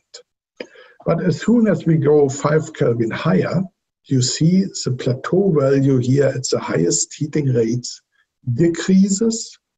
And already at 145 degrees centigrade, that is 20 Kelvin above the development temperature, there is no crystallization at all only at the very low transfer heating rates when we stabilize everything during the transfer. But as we have learned from the previous experiment, we have to be faster than 1000 Kelvin per second to have the condition of infinite fast heating. And this tells us now something about the size distribution of the clusters. And what we expect to see is here shown from a theoretical calculation based on classical nucleation theory. You see the development of the cluster size distribution with time. Here you see the different nucleation times. And here the distribution function. And here the cluster size in the number of units in the cluster. Okay, and you see for our case, here, let's say the curve at about 500 second will be tested. And what is interesting, these curves are quite steep at the end. So we are approaching very fast, very low numbers. Okay, it's a logarithmic scale here. So we plot the crystallization enthalpy as a function of the uh, spike temperature. And you see for no spike, everything is constant. And then we see the dramatic decrease from 4 times 10 to the 24 nuclei per cubic meter to zero within, let's say, about 20 Kelvin. And according to the uh, classical nucleation theory, we can estimate the radius of a critical cluster for the different uh, temperatures of the spike. And you see that we start at about 1.6 nanometer and we end here at about 2 nanometers. So you see the variation is not too much. Also, I have to say the calculation based on the classical nucleation theory. These are very rough estimates, and I don't want to, to say this is 1.6. It could be 0.6 or it could be 2.6, but this doesn't matter. So we see that within a relatively small change of the cluster size, we lose all, let's say, existing clusters. So we have this dramatic decrease of the surviving clusters. With this, we have an idea about cluster sizes, actually the number of clusters available of a certain size. You see here, also 1.9 or so, we have still 10 to the 24 cluster per cubic meter, but we have much more for the smaller ones. With this, I'm at the end of the experimental part and I would like to summarize what we have seen. So first of all, we have shown that the nucleation and also the growth kinetics uh, of the nuclei can be accessed by fast scanning calorimetry. The number of surviving nuclei strongly depends on the transfer heating rate, as that's a quantity one cannot neglect. One has to make sure that one is fast enough so that nuclei cannot stabilize on the way between the nucleation and the growth temperature. And strongly depends on the maximum temperature before we go to the development temperature. And what is also interesting and not obvious, the classical nucleation theory, which is basically made for atoms, also describes the observation for the polymer PLLA reasonable well. So by choosing the, the right parameters, we have a very nice description of ex our experimental findings. If you are interested in this topic, I can only point to three recent publications dealing with the subject. There's the one by Andrianov, um, which is just about these experiments. There's another one uh, discussing a, a, combination with infrared spectroscopy, an idea which was born in Kazan but finally realized at uh, Leipzig University. and another uh, paper where we combined atomic force microscopy with fast scanning chip calorimetry. And with this, I'm at the end, and I have to acknowledge uh, very helpful discussion, discussions with Alexander Minakov from the General Physics Institute in Moscow. And uh, we have to acknowledge the grant from the Ministry of Education and Science of the Russian Federation within the Mega Grant uh, program and Functional Materials Rostock EV, which also supplies such kind of calorimeters. And I thank you for your attention. And as you see, there's always some light at the horizon. Thank you very much. Thank so, you. if you have questions, please ask. Yes, uh, any questions appearing? Hello? Uh, any questions? Um, probably have one. Uh, there was a slide uh, on on your calorimetric measurements, and uh, there was obviously we could see the sample. Um, we could more or less estimate the size or width of the samples, but what is the height of the sample, thickness of the sample? You ask for the thickness of the sample? Yes, how high it is, because the Yeah. detector is... This is um, in the case of, let's say, we- heating and cooling rates of about 1000 Kelvin per second, it goes up to 10 micron. If we go faster, we have to use uh, thinner samples, also to, let's say, if we go to a mega Kelvin per second, it's uh, of the order of 100 nanometer.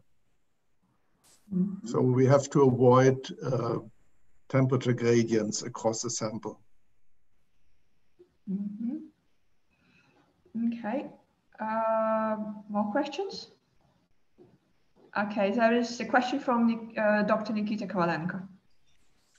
Professor Schick, thank you very much for talk. And my question is about mass of your samples. Uh, as I understood, you uh, obtain data about entropy of crystallization, and for this data, you need information about mass of your samples. But your samples are about nanograms. So, what's what methods do did you use for measuring these masses? Yeah. Um, as you said, we are in the nanogram range, so there is no chance to use a balance to determine the sample mass. And we use, uh, let's say, the calorimetric signal. And in most cases, we use the heat capacity in the liquid or in the crystalline state of our sample, where, also in a state where we know the specific heat capacity of the material. And what we measure is the heat capacity in joule per Kelvin. And if we know the specific heat capacity, then we can determine the sample mass. And for polymers, it's also very often possible to obtain a totally amorphous state. Then we have the glass transition.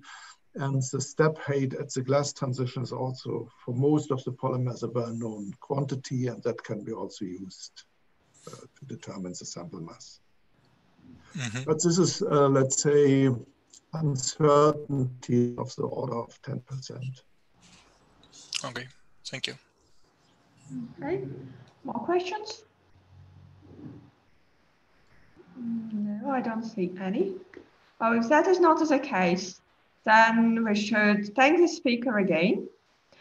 And uh, that was the last talk of the plenary session. Now I would like to start the recorded announcement of uh, Dr. Konstantin Gavrichev of the Kurnakov Institute of General and Organic Chemistry of the Russian Academy of Science about the next conference, RCCT 2021 in Kazan. Could we please start it?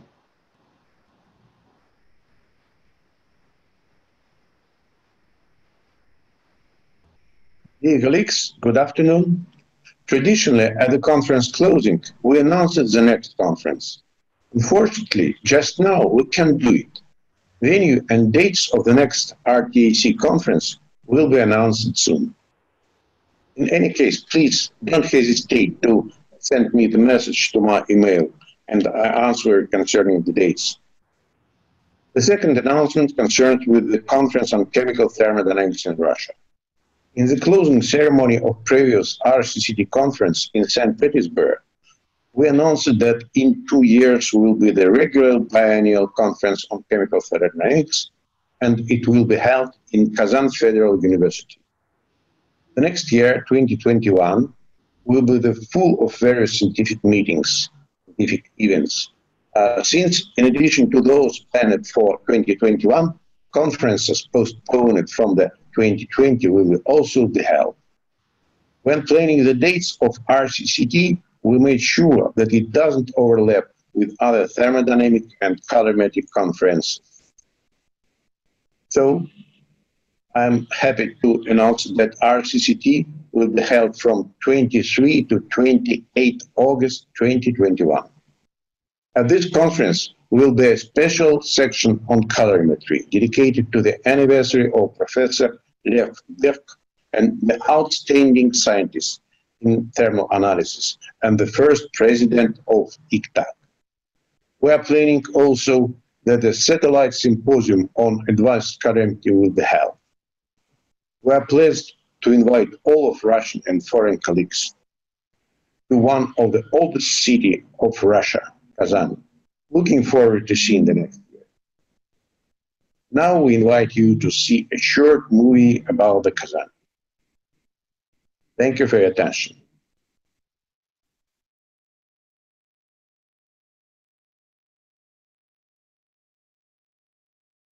So, where is Kazan? Now we are here, Moscow is here, Kazan is located near the Moscow. It's really close, just one night by train or a couple of hours by plane. Kazan is the capital of the Republic of Tatarstan, which is one of the most famous regions of Russia. The territory of Tatarstan is rich in oil.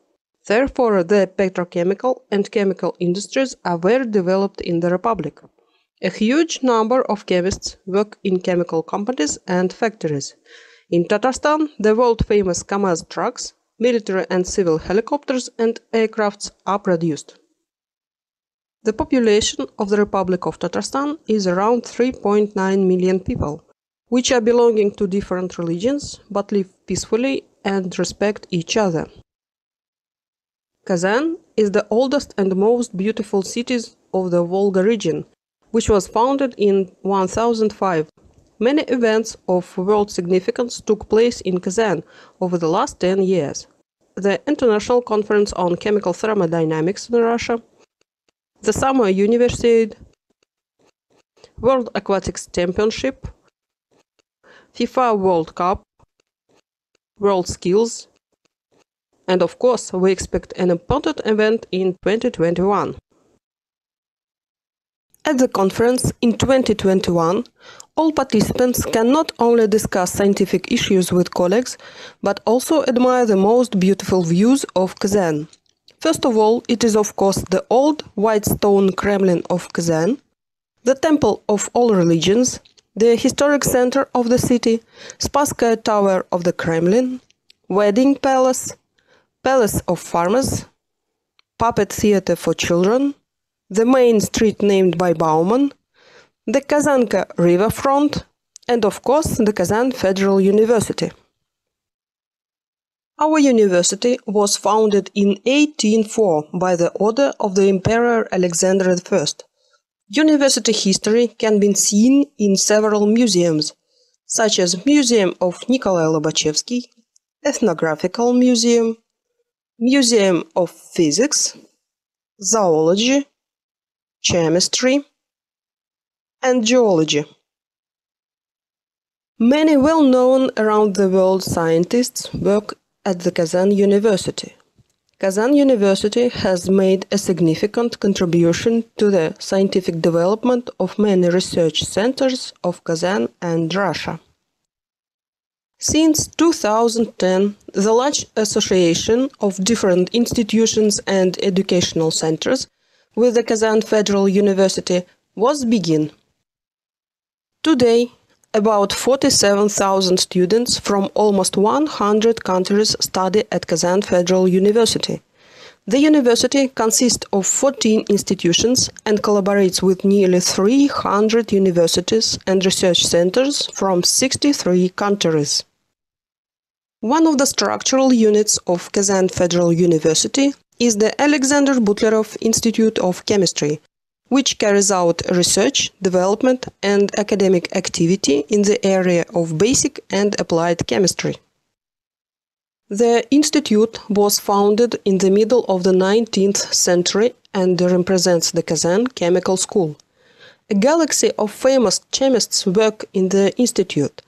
We carefully keep the traditions of those times in Museum of the Kazan Chemical School. In 2015, with the support of the government of the Republic of Tatarstan, a new modern building of the Chemical Institute was built, in which the seven departments are located. With the support of the federal program, many new laboratories with modern equipment were created. At present time, a great number of young scientists are working in laboratories. The studies in the field of thermodynamics are carried out at the Department of Physical Chemistry, which has almost full line of equipment for thermal analysis to solve any problems in the field of thermochemistry and calorimetry. In 2017, at the department, the first laboratory of fast calorimetry in Russia was founded. The head of the laboratory is the Professor Christoph Schick. The Institute of Chemistry has a great experience in organization of high-level international conferences, in which thousands of scientists from around the world participated. Our university has a large number of conference halls, including the Imperial Hall, modern halls that can accommodate 1,000 or 400 participants, and several smaller halls in the old and new buildings, including the Butlerov's lecture room. The Kazan Federal University is located in the historical part of the city, a stone's throw from the Kremlin. Around the university there are a large number of inexpensive hotels and hostels that can accommodate all participants of the conference. In 2021, it will be the 125th anniversary of the famous scientist Lev Germanovich Berg, who worked at Butlerov Institute of Chemistry. Lev Berg was one of the founders of the theory of thermal analysis and the first president of the International Confederation for Thermal Analysis.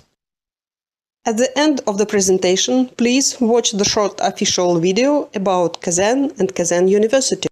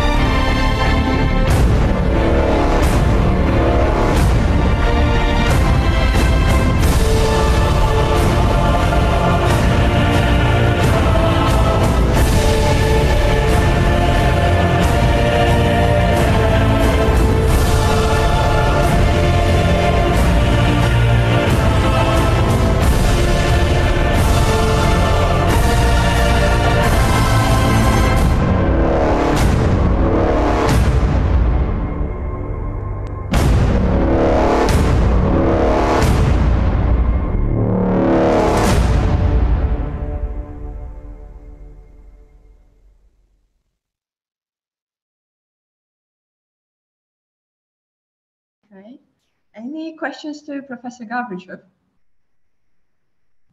No?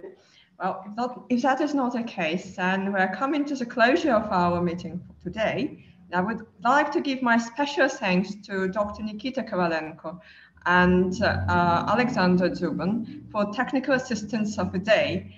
of the conference, and I would like to thank all participants and speakers for joining us today.